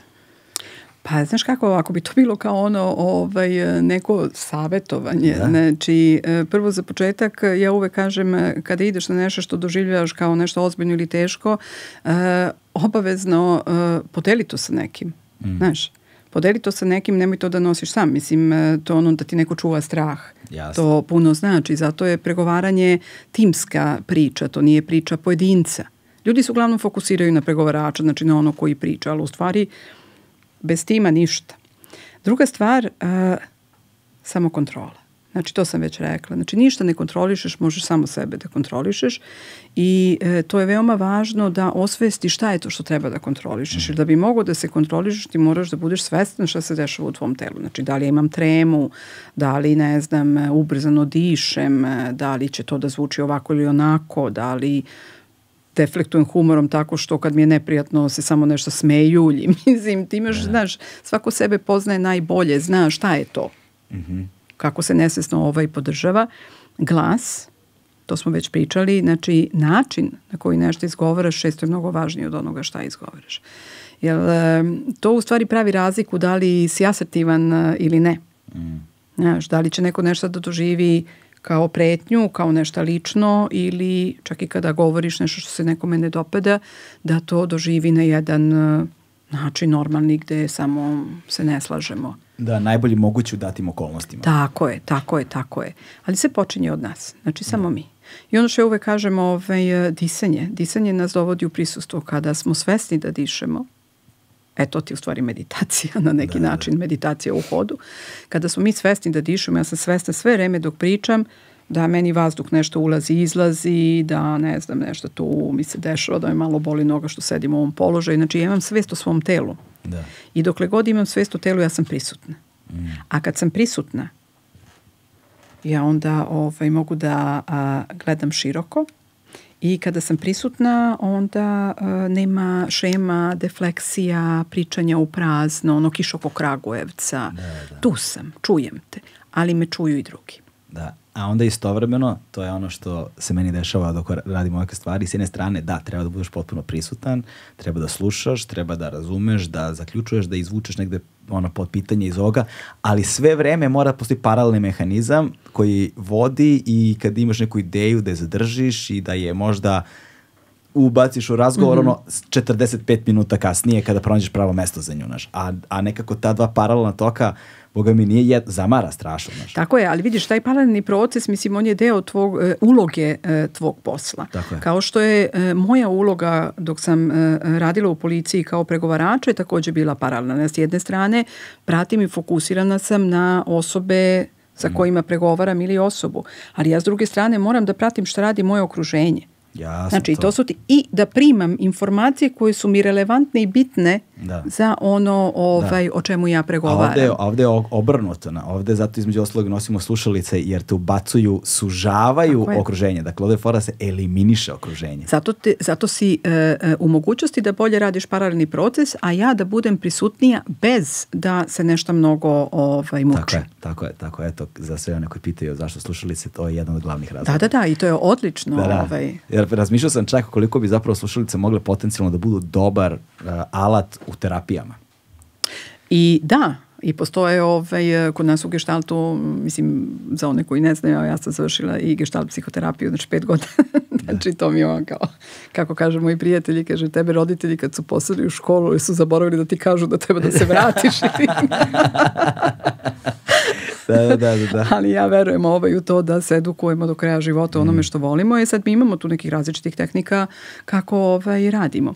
E, ono što je bitno, e, što recimo evo na primjer sad ja osvešćujem da e, šta je za mene e, manje stresa, jer bez obzira, znači stres je i meni kao neko ko gostuje kod tebe na neki način. Znaš, ja imam malo toga. E, činjenica da nemam osjećaj da se snimam. Da, da. Znači, uopšte ne razmišljam, ovaj, sad sam shvatila da, nemam osjećaj da se snimam, ne razmišljam sad e, o, o, ni o mojim pokretima. Da, da, puno smo, ovaj, Znaš. znaš, pu- pu- puno smo radili na tome. Da, da, da, Ovaj, odlično, odlično. Da, da, da ambijent i atmosfera budu takvi. Znaš, da, da, a, da dobiješ čoveka, Tako je.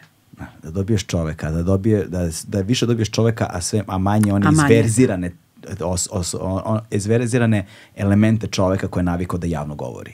Tako je. Znaš, što je, što je javnija ličnost, to je teži taj proces. Hmm. Zato što imaju naučenu, naučen stav, naučenu pozu, znaju koji im je dobar profil, znaju koje rečenice dobro rade i rafal, rafal, rafal, znaš, i to je... Jeste, ali to je naučeno, to ne ide iz unutrašnjeg bića Tako i je. to je ono što je različito i to je ono što ljudi čitaju. Znaš, ja gledam, poli- posmatram političare ponekada, ove, mislim, diljem, a, a, da kažem, ovih zadnjih 20 godina i tačno a, vidiš ko govori autentično, a ko iz ovoga što ti pričaš. Tako je. I ne samo ti, nego svako oseti ove, da postoji razlika. Ali ima majstora o, zanata koji umeju da Nije majstor zamaskiraju. zanata, nego mi imamo problem, e, ne majstora zanata, da, e, uspevaju, ali mi imamo problem sa onim deo populacije koji u stvari se ne povezuju sa sobom. E, to Da bi istina. mogli to da prepoznaju, znaš. Da, da, da. i To je ona istina. priča kad smo pomenuli koliko se mi zapravo ovaj, spremni da se suočimo sa stvarnošću i e, prošlošću i sve to i to se manifestuje na taj način. To je neko bežanje od odgovornosti. Mm, da, da. E sada, a, u vezi sa time, a, a, četiri godine saja, ali tako? Mhm. I nakon toga odlaziš iz službe. Da, bila sam još neko vreme ovaj, e, u, u Centru za policijsku obuku Mhm. i posle toga sam se penzionisala, dočekala sam penziju. Dočekali ste- To je kao u regularna penzija ili... Da, da, da, regularna To je kao penzija. benef- ono, benefici- Beneficirano, pa da, pa ja sam od početka kad do dana jedan na beneficijama, znači Da. nikad nisam sedela, Jasno. nego ovaj, bila u akciji. I e, da, nekako, ali to je prošlo neverovatno, opet i tu što ja kažem, mislim, znaš, ono, a, a, a, ako smo verujući, e, kako god mi to zvali, znaš, kao da te neka ruka vodi kroz neke životne faze i procese, dešava se da e, ja nekako ovaj, odlazim iz Saja u taj centar za policijsku obuku, to mi isto bilo nešto onako ovaj, polukažnjeničko, da ne ulazim u to, ali e, jako, mislim, ja sam čovek koji kad, kako da kažem, ja uvek kažem ne tamo gde smatram treba kažem ne, sa profesijom ne pravim kompromis i to je kraj. Znači, Bravo. ne zanima me ni politika, ni oma, ne zanima me. Bez posla. Neću umreti od gladi, imam dve ruke, stepeništa vas da prati. Tako da to mi je okej. Ali sam imala mogućnost da u stvari razumem koliki, um, koliko dugo ja radim pod adrenalinom. Znači, faktički ceo svoj radni vek. Pazi, 30 godina, malo li. Ja radim pod adrenalinom i ono što se meni desilo kada sam prvi put sela za svojih 26-7 godina rada tada, jer sam ovaj, došla u centar za policijsku obuku gde, mislim, sediš, znači to nije operativni, to je drugačija vrsta posla, pa je to već divan posao za ono kraj karijere, znaš, da kreiraš neki program ili tako nešto. I ovaj, ono što se dešava to je da ja počinjem u stvari da imam jednu krizu koja je fizička, fiziološka. Ja shvatim da ja odjednom ne mogu da sedim, da ja ma ne znam, moram da ustanem, kao nezverena, šetam tamo vamo. I u stvari sam prošla kroz neku vrstu adrenalinske krize. Ona je prilično, ovaj, čini mi se, slična nekoj narkomanskoj krizi. E, jedino što sam bila svesna toga. Svesna sam toga i, I traje verovatno duže od sedam dana. Traje duže od sedam dana, da, ali e, i to mi je mnogo pomoglo. I znaš šta mi je još pomoglo? Znači, e, kao neka vrsta pripreme, znaš, mnogo mi je pomoglo ovaj, to što je došla korona. Um, Zato što sam u stvari ovaj, tih zadnjih godinu i nešto dana, godinu koliko već korone kad je već ovaj, krenula, više nisam išla, ovaj, mislim da realno više nije bilo ni potrebe, ja sam bila odlazeća, ali ovaj, nisam išla nego što sam išla na posao i nekako mi je to dalo onaj kao prelaz. da. da. Ali to što si se penzionisala u službi ne znači da si se penzionisala u životu. A pa ne. ja nisam, ja mislim, ne znam, u stvari ja nekako imam osjećaj da, pazi, ja sam se penzionisala na neki određen način. E, imala sam zaista, kako bih rekla, um, tu sreću u životu da radim ono što mi ispunjava. I stvarno e, moram da kažem da pa evo da ne preterujem, ali 90% ovaj, e, stvari koje sam radila su stvari koje su meni ispunjavale. Ja nekako sam uvijek bila uverena e, i imam tu životnu filozofiju da smo mi svi došli na ovaj svet sa nekim određenim talentima i da ti talenti postoje da bismo mi služili jedni drugima. I nekako to ono što bi rekli amerikanci, to servant to protect, e, mi se uklapalo u to. Moja najveća želja u policiji, nažalost počela sam s 9. martom, ali posle 9. marta i jednim delom kroz pregovarače, moja najveća želja je bila da uh, imidž policije, ali bude autentično podržan, bude takav kao kada sam ja bila mala i kada meni roditelji kažu vidi šta god da se desi na ovom svetu, ako nema mame, tate, tu je čeka milicioner. Znači on je bio ona neka sigurnost kome ti veruješ. A ja sam radila u policiji da 90-ih je bilo ono, brate, nemoj ni policija se obraćaš, ne znaš ko je, ne znaš ko je šta je, a da ne kažem od krađe uniforma, znački, ne veruj nikome. Znači ono što sam ja htela, to je to za moje dete i, i za a, svu našu decu. Mm. Da se mi kao roditelji osjećamo a, sigurno u društvu kome naša deca rastu, da znamo da postoji neki čika policajac koji je tu za dete. Da. Da. I to je nekako bilo ono što me vodilo i naravno svest o tome da mene država plaća da ja štitim građane ove zemlje. Mm, da. Ali ta e, svest, da, ta svest, taj neki, ti neki uh, jasno usađeni odnosi prema sebi i svetu oko sebe, koji se tako utemelje i uhvate, puste korenje jako, to su, kako si ti nazvala, introjekt. Introjekt, da, da. da. Znači, da. znači, introjekt službe, a, u tvom slučaju a, i vrlo specifično o, vrlo određene službe i onoga što je jedan sistem glomazan Tako sistem je, kabest koji ti daje od, inertan u velikoj mm. meri, koji ti daje onako stabilnost, sigurnost, ono, plata, karijera, šta ti ja znam. Ali to više nije tako. Znaš, to su bila neka vremena, to, to nije tako. Znam, znam, ali hoću da ka, ali intelekti nisu nužno objektivne kategorije. Ne, Znaš, to, ne, ne, ne. To. I oni su podložni menjanju. Suština što mi dobijemo, mi se introjektujemo od malena. Znaš, ti introjektuješ svoje dete onog momenta kad kažeš ne, ovo, pec, ovo, da, da ti u stvari usađuješ nešto. Tako je. Znaš, e, e sada, ono što je suština to je da kada mi odrastemo u nekom trenutku, a to je da revidiramo naše introjektele, ono što su bila uverenja jednog društva, jednog e, perioda, jednog sistema, ne moraju neminovno da budu adekvatna i funkcionalna sada i ovde. Ali oni se najteže menjaju. Tako je, zato što se najteže osvešćuju. E, to. Tranzicija koju si napravila, mm. a, sada si profesorka, da, da, ja sam sada jedan od vodećih predavača u Mokrogorskoj poslovnoj školi, novog doba, kako dakle, je zovemo, da, to mi da, se e, sviđa. E, ovaj, I sada radiš sa uh, studentima koji imaju sasvim drugačije introjekte ili da kažemo životna opredeljenja i delatnosti u odnosu na ono što je bilo služba. Tako je. I sada to zahtevalo od tebe verovatno jednu drastičnu introspekciju, odnosno o, o, o, posmatranje svog dosadašnjeg rada, zato što čini mi se, sad ja pretpostavljam, ti ćeš mi reći, jel te, da, da, li, da li je lupetan gluposti ili sam u pravu, ovaj, a, da je to ipak pod brojem jedan daleko manje stresno, znači nema više adrenalinskog tog elementa, ovaj, a, rizici i posledice nisu ni izbliza Tako ono je. što je bilo za vreme službe, a verovatno i samim tim njihov odnos prema sebi i svetu oko sebe je drastično drugačiji od onoga kako je to bilo u službi. A posebno kad govorimo o tim velikim glomaznim sistemima koje je ono karijera, plata i to, ovi ljudi potpuno drugačije razmišljaju. Tako je. To je u stvari jedan uh, sudar svetova. Da.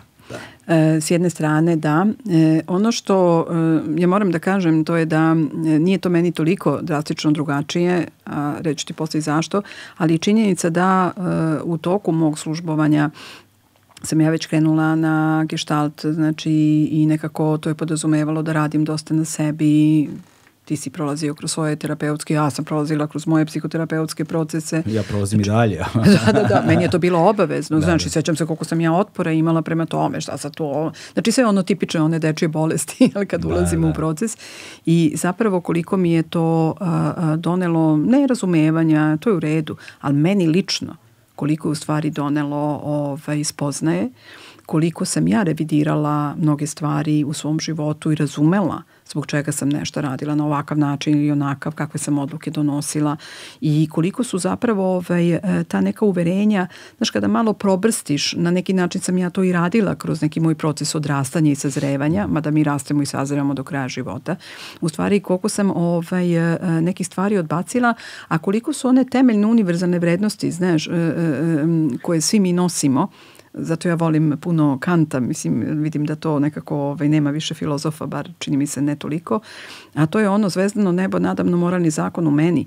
E, svi mi dođemo, niko ne dođe e, bez osjećanja e, stida ako se uradi nešto loše. Mislim, mi tačno imamo e, genetski kodirano šta je ono što prelazi neku granicu koja ne treba da se pređe. Znaš, kao životinja koja neće da ubije bebu, Da. štene. Mislim, ima taj neki. Ako nema, znači to je već neki ovaj poremećaj. Meni je to revidiranje vrednosti puno pomoglo i e, činjenica da e, sam upoznala čitav jedan svet koji postoji van MUP-a, bivajući unutar MUP-a. I onda sam ja taj svet donosila u MUP na neki drugačiji način. Da, da, da. I to je u stvari uvek ta mesta rasta su ona mesta nerazumevanja tvoje okoline, koje je usko u tome. Red, rad, disciplina i ljudi koji rade najčešće ono, primiš se, znaš, takav je posao, nekako zaista autentično se negde primiš, Uvučete. Ja. uvučete i ti imaš osjećaj da je ceo svet mup. Svejedno gde si, znaš, a nije. To je jedno malo zrnce peska u sistemu univerzuma. Da, da, da. A kako si rekla, mesto meta- rasta je mesto nerazumevanja tvoje sredine. Da. Da, da, sviđa mi se to, Jeste. da. Sviđa mi se to. I zapravo to s jedne strane svedoči o veličini osobe, neko ko ume da se izmesti iz tog sveta, da vidi veličinu sveta oko, okolo, da se adaptira, da bude spremna da prihvata stvari i dobre elemente i onda onaj najnezahvalniji deo posla da, ga, da ih da implementira. ih implementira. Da. Vidi, Sizifov posao, ali ok, mislim, kažeš, probao sam i, i znaš kako je i ta implementacija, ti nikad ne znaš, znaš, to ti kao voda. Mm. Možda se to ne vidi sada, ali možda za deset godina je to našlo neki svoj put. Mislim, ja bar želim, želim da verujem u to. Ali ono što mi je dalo, to je da konačno izađem, e, iako po prirodi pregovaranja smo mi stvarno morali malo da skačemo i na te meta pozicije, znaš, da gledamo stvari iz neke visine, da bismo malo širu sliku obuhvatili, pa da se vratimo u ono što je situacija.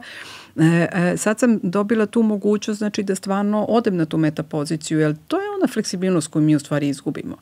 Znaš, ti kad uđeš u svoj malo, mali životić e, koji je tvoj neki mali uski delić, e, ti nekako vremenom se isključuješ e, iz toga da to pripada svakolikom univerzumu, a ne samo, znaš, zaboraviš taj pokret. Da, da. I taj pokret je u stvari meni pomogao kada sam krenula prvo da uh, otkrivam koliko volim da, da se bavim uh, edukacijom, treninzima.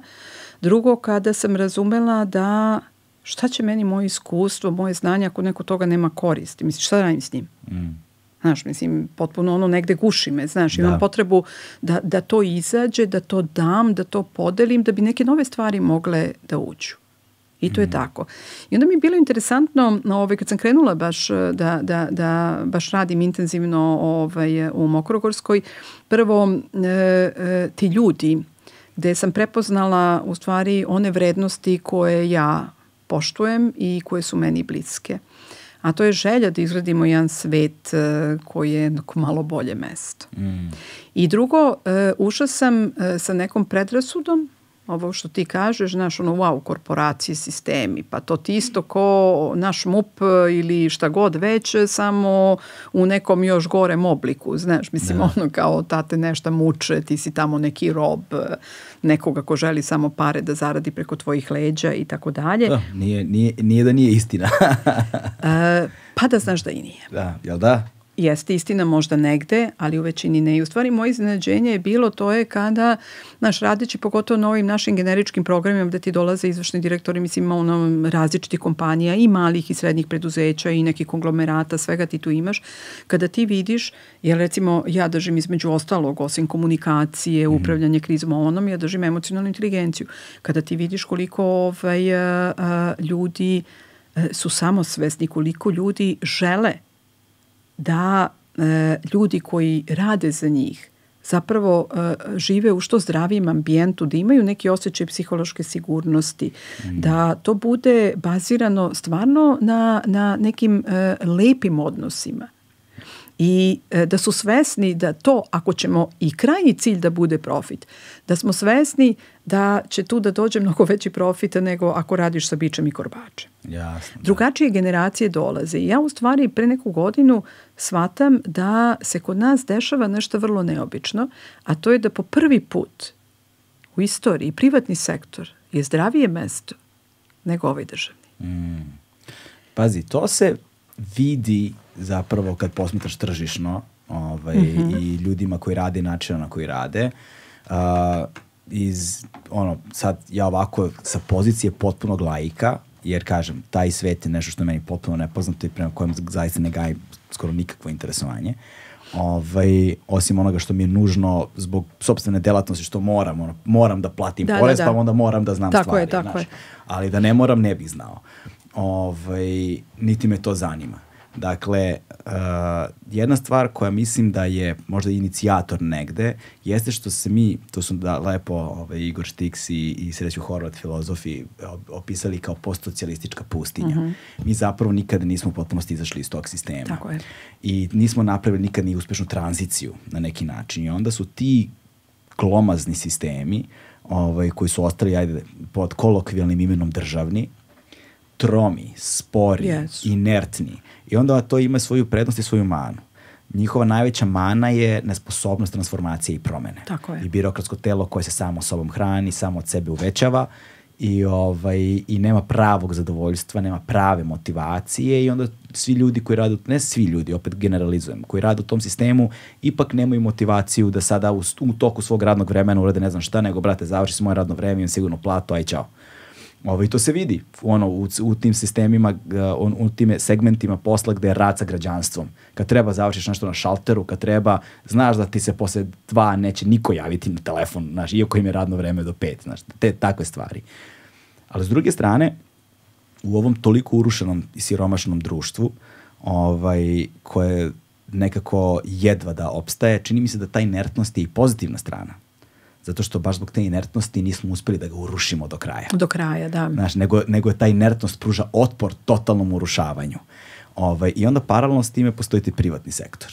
Da, i postoji nešto što ovaj, ja pogotovo volim eh, kada radim sa ovim mladim ljudima, mm. mladim preduzetnicima, tim startupovima, kada ti vidiš koliko tu ima pametnih ideja, koliko tu ima znanja, koliko tu ima energije, mm. koliko tu ima želje i što je najvažnije, sa jednom opuštenošću, jer e, e, te mlađe generacije autentično biraju ono što prepoznaju sebe u tome, vole da rade da. i oni su opušteni. Ali i te mlađe generacije imaju generacijsko nasledstvo da u startu ne računaju na sistem da će da ih podrži. A to pogotovo, ali oni ulaze zato bez nekog straha, znaš, Tako mislim, ne, da. nema šta sad onda se opterećuje, pogotovo ako nisu još dodatno opterećeni sa onim našim, a šta sutra, a za crne dane, a mm. pustiti to. Ja se setim, ovaj, apropo tih introjekata, to sigurna služba, plata, sigurici i tako dalje. Ja sam imala u toku, to je bilo tamo negde ovaj, pred kraj 90-ih, ovaj, sam imala eh, i posle 2000 sam imala par ponuda iz privatnog ovaj, sektora da pređem da radim. Znači, prvo su bile jako zanimljive, a drugo da ne kažem materijalno, mislim što policijska plata nikad nije bila, materijalno jako ovaj, eh, prihvatljive, primamljive. I ja sam u jednom momentu čak i krenula da razmišljam uh, u tom pravcu, Ne zato što nisam volao ovo što radim, nego prosto, znaš, ono, e, ja sam biće koji ima potrebu da se širi, da neke mm. nove stvari uči. I samo je ovaj, ono glas uh, uh, unutrašnji mojih roditelja, znaš, koji govore ono ne, to ti nije sigurno, šta ako to sutra pukne, uh, ovo ti je sigurno i sve tako se to nešto tu kao, ovaj, kao da sam hipnotisana, znaš. Posle kada sam kroz svoje terapeutske procese prolazila zapravo to ti kako radi unutrašnji introjekt, U stvari šta se dešava? Razmišljaš e, kako ti racionalizuješ to i kažeš pa dobro, pa prvo zaradila ovi pare da bi mogla dve godine da živim kao da imam ovu mupovu platu, znači dok se ne snađem, a drugo, pa te nisam nesposobna, da ću nešto moći da se snađem, da, da. zaradim, da jedem. Pardon. Tako da, znaš, to su ti strahovi koji te drže, u stvari više nije ni strah. Znaš, e, e, e, to su one pozicije gde ti u stvari razmišljaš šta ti gubiš, jer ti gubiš e, autentičnu egzistenciju ili gubiš komfor. Mm. Šta ti je tu žrtva? Mislim, mi moramo e, e, da budemo realni. Mi živimo danas u vreme kada nije lako ostati bez posla, ali e, i da ostanemo bez posla, svi imamo nekoga ko će makar malo da nas nahrani dok se ne snađemo. Da, da. Ali Jel? pazi, to je posledica u velikoj meri i vremena uh, i kojem smo živeli i stvarnosti koja nas je uvek u su, koja nam je uvek pokazivala suprotno. Jedna od najvećih fascinacija tim takozvanim razvijenim zapadnim sistemima kada sam putovao po razvijenim zemljama, jedna od najvećih fascinacija mi je bila ta da zapravo oni imaju toliko stabilan sistem u kojem su pravila toliko jasna i toliko dugo već, znači Tako je. generacijski jasna, da oni od dana kad se rode znaju da ako uradim ovo, ovo i ovo, za 15 godina me čeka ovo. I prođe 15 godina i stvarno bude to. Ako su oni bili dosledni tim koracima. A, kod nas to nikada nije bilo tako. Pazi, jeste u bivšoj onoj, ja se sećam, mi smo imali ono petogodišnje planove, petestogodišnje E, to, planove, šta da. god. Suština je što mi ovde ne razmišljamo proaktivno, ali mi smo zaglavljeni. Pa to, Znaš, da. mi smo zaglavljeni. E sad, ono što meni uliva nadu, jeste u stvari ovi e, ljudi sa kojima radim. Nisu, ne moraju, nisu to neminovno mladi ljudi, dođe tu i, i, i, e, ljudi koji su već u, i u godinama, mislim, naravno ne tako kao koliko imam ja, ali recimo, znaš, to nekih, ovaj, e, znači koji imaju već neko ozbiljno iskustvo ovaj, u poslovanju. E, međutim, ono što jeste, to je u stvari taj proaktivni model. I drugo, ono što primećujem, što se meni jako dopada, ne kažem e, svi, ali veliki broj tih firmi, kompanije su ovaj, e, društveno aktivni. Su ljudi koji e, učestvuju na neki način e, e, u društvenom dobru, u, u, u nekom radu, u nekom pomoći, u, u nečemu. Znači, e, svesni su, imaju taj ono što ja se zove eko cilj, čisti. Znači, nije mi cilj samo da zaradim. Ne, zarada mi je sredstvo da bi ja u stvari mogao i moju zajednicu da na neki način pomognem koliko god mogu na bilo koji način. Znači, postoji taj neki, ta neka svest da a, a, smo važni na više nivoa.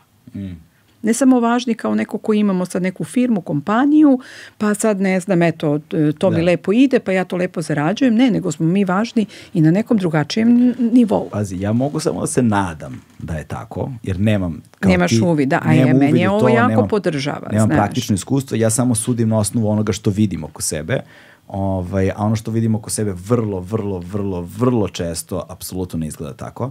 Ovaj, i, na osnovu, I tako sam možda izgradio otpor prema tome i otklon od toga, ovaj, ali s druge strane upozna, ono, od, odlaskom od plate, sigurice, kako kaže, tih stvari, sam zapravo prvi put ono na pragu 40. upoznao kao ček, znaš, da ta nesigurnost je mnogo veći bauk a, koji te sprečava da zakoračiš dok si u sistemu nego što zapravo jeste ono trenutka kad Tako je, tako je, tako je. I razlika između ta dva je nešto na što i dan danas ono, ustanem, op, probudim se ujutro, otvorim oči, fuzon sam, jevo te, ne mogu da verujem da ne moram Sloboda. na posao. Da.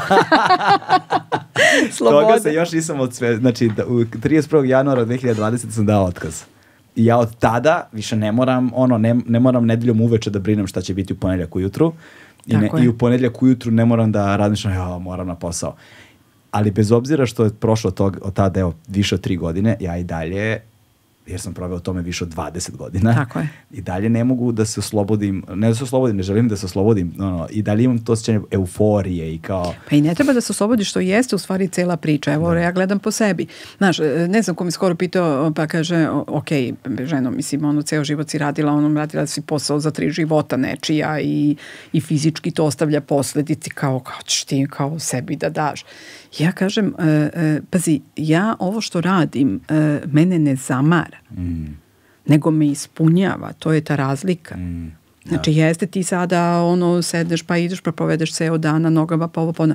Ali taj, e, e, tu energiju koju ja dobijem nazad, to prepoznavanje od ljudi sa strane e, onoga e, što pričamo, ta želja da se to implementira ili već jeste, znači e, ta divna razmena, mene to samo puni, znači ja uopšte nemam ovaj, e, ja dođem fizički umorna, to je u redu, ali meni je duša puna.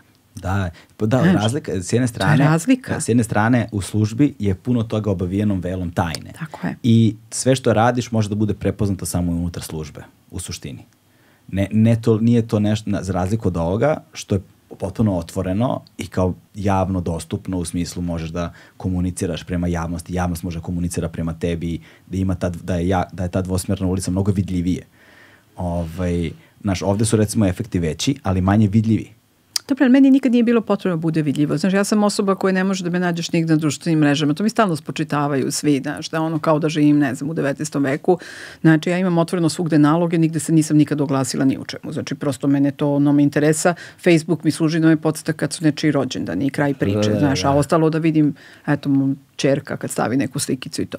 E, ono što hoću da ti kažem, e, taj osjećaj ispunjenosti, isti onaj ispunjen, osjećaj ispunjenosti koji sam imala kada završim dobro neki posao, kada se završi dobro, kada stvarno ono prođe. Znači, i meni je to e, bitno, to je moje lično, znaš, mislim, ja nekako malo sebično to ni ne volim da delim Da, da, da. sa drugima, ali nekako, ne znam, to je Ali moje. da, ali posao koji, koji si obavljala je opet negde visoko stresni posao. Znači, energija tog posla je sasvim drugačija. To je tačno. Znaš, posledica, ukoliko posao ne prođe kako treba... Da, misliš ovde nema štete ako nešto Pa da... da, nemaš kako posao ne prođe kako treba, katastrofalne su posledice, ali ako posao prođe kako treba, opet je to bio, u- znaš, takva situacija nije trebalo ni da se desi. Slažem se. Znaš, i stalno je samo krizno. A znaš šta je ovde prednost? Ovde je prednost što tebi dolaze ovaj, na treninge, na obuke, na predavanja, dolaze ljudi koji hoće da dođu tu. E, da. Znaš, da, Da, niko ne razlika. mora tu da dođe. Znači, niko ne mora, ljudi hoće da dođu. A Oni šta sve hoće. predaješ? E, Pa radim timsku saradnju, disfunkciju u timovima, komunikaciju kriznu, asertivnu, Mm. radim ovaj, e, upravljanje promenama, radim upravljanje krizama, konfliktima i emocionalnu inteligenciju, to je onako sad ajde, mislim, ali to su ti onih soft skills, znaš. Sve nam treba. ali? Tako da eto, napravila sam jedan lep program work-life balance, znaš, malo o stresu videla sam da je i to potrebno ljudima, znaš, baš kad pričamo oko toga i nekako čini mi se da upravo s aspekta onoga e, šta sam ja radila je um, lakše kada to donesem e, ljudima, kapiram ja da imaš kompaniju, možda veliku, možda su milioni u pitanju, ali vidi prijatelju, živ si. Da. Znaš, dokle I god zdrav. si živ i zdrav, možda izgubiš pare da ih dobiješ, ali ti e, možeš uvek nešto da uradiš. Problem je kad te nema. Znaš, da malo stavimo u perspektivu i taj nivo stresa, da objasnimo i te mehanizme kako oni funkcionišu, šta oni znači, čemu služe, a drugo, ovaj, da razumeš da tvoj nivo stresa jeste tvoja odgovornost, ok, velika, sve to u redu, ali ne možeš da meriš sa operacijom na otvorenom srcu, neurohirurgom ili, ne de Bože, ovaj, nekom akcijom gde je nečiji život ovaj, ugrožen. Pregovaračkom, talačkom... Bilo krizom. čijom, ne mora da bude, na kraju krajeva nisi u ratnom području, mislim, za početak. Da, da. Znaš, kaži hvala. Znači, i nekako ovaj, taj osjećaj zahvalnosti koji, koji smo izgubili, taj osjećaj em, poštovanja, taj osjećaj e, poniznosti, Mi tu reč ne volimo, mi to doživljamo kao nešto ružno. Ali ja sam ponizna pred veličinom života, znaš. Jer je život toliko značajan, toliko divan, da ga ja prepoznam ovaj, u svemu i to je ono što je u stvari meni fokus, znaš, da, da to vidim. Da. I da to u moru ovog ludila nekako vidim. I onda kad vidim, meni su to svetionici, znaš. I nekako, da, I moramo da ih čuvamo. I apsolutno. moramo da ih čuvamo i ti si jedna od osoba koja upravo to radi. E. Da, me. hvala ti na Hvala tebi. Hvala tebi na gostovanju, hvala ti na ovom divnom razgovoru i na uvidima a, u razne elemente, ne samo posla kojim se bavila i poslom kojim se baviš sada, već i elemenata koji svakako imaju veliku primjenu na svakodnevni život, bez obzira na to da li dolazi iz službe ili ne. Tako da, hvala ti još jednom i voleo bih iskreno ovaj, u nekoj bliskoj budućnosti da vidim i sve ove tvoje priče u zapisanom formatu. Joj, hvala tebi, vidi ja ne znam koji si ti koji stalno e, i po redu koji nešto pominje to oko tog pisanja, možda jednog dana ne znam. E, e, trenutno mislim da živa reč možda ima više uticaja, ljudi slabo već čitaju, imaš one koje da, koje ne, ali u svakom slučaju hvala tebi e, zato što e, Ja moram da priznam da mi je veliko zadovoljstvo ovaj, što si me baš ti zvao, ja inače ne volim to, da, da, mislim, znaš da to, to smo pričali malo, e, e, baš zbog ovoga što radiš, što tragaš, što istražuješ, što, eto, nekako, ovaj, bitna ti je suština. Tako je. Hvala Eto ti puno. to. Hvala ti puno. Veliki kompliment. Završit ćemo s time. Da. Dosta je bilo. to je to, stigli smo do kraja. Ćao.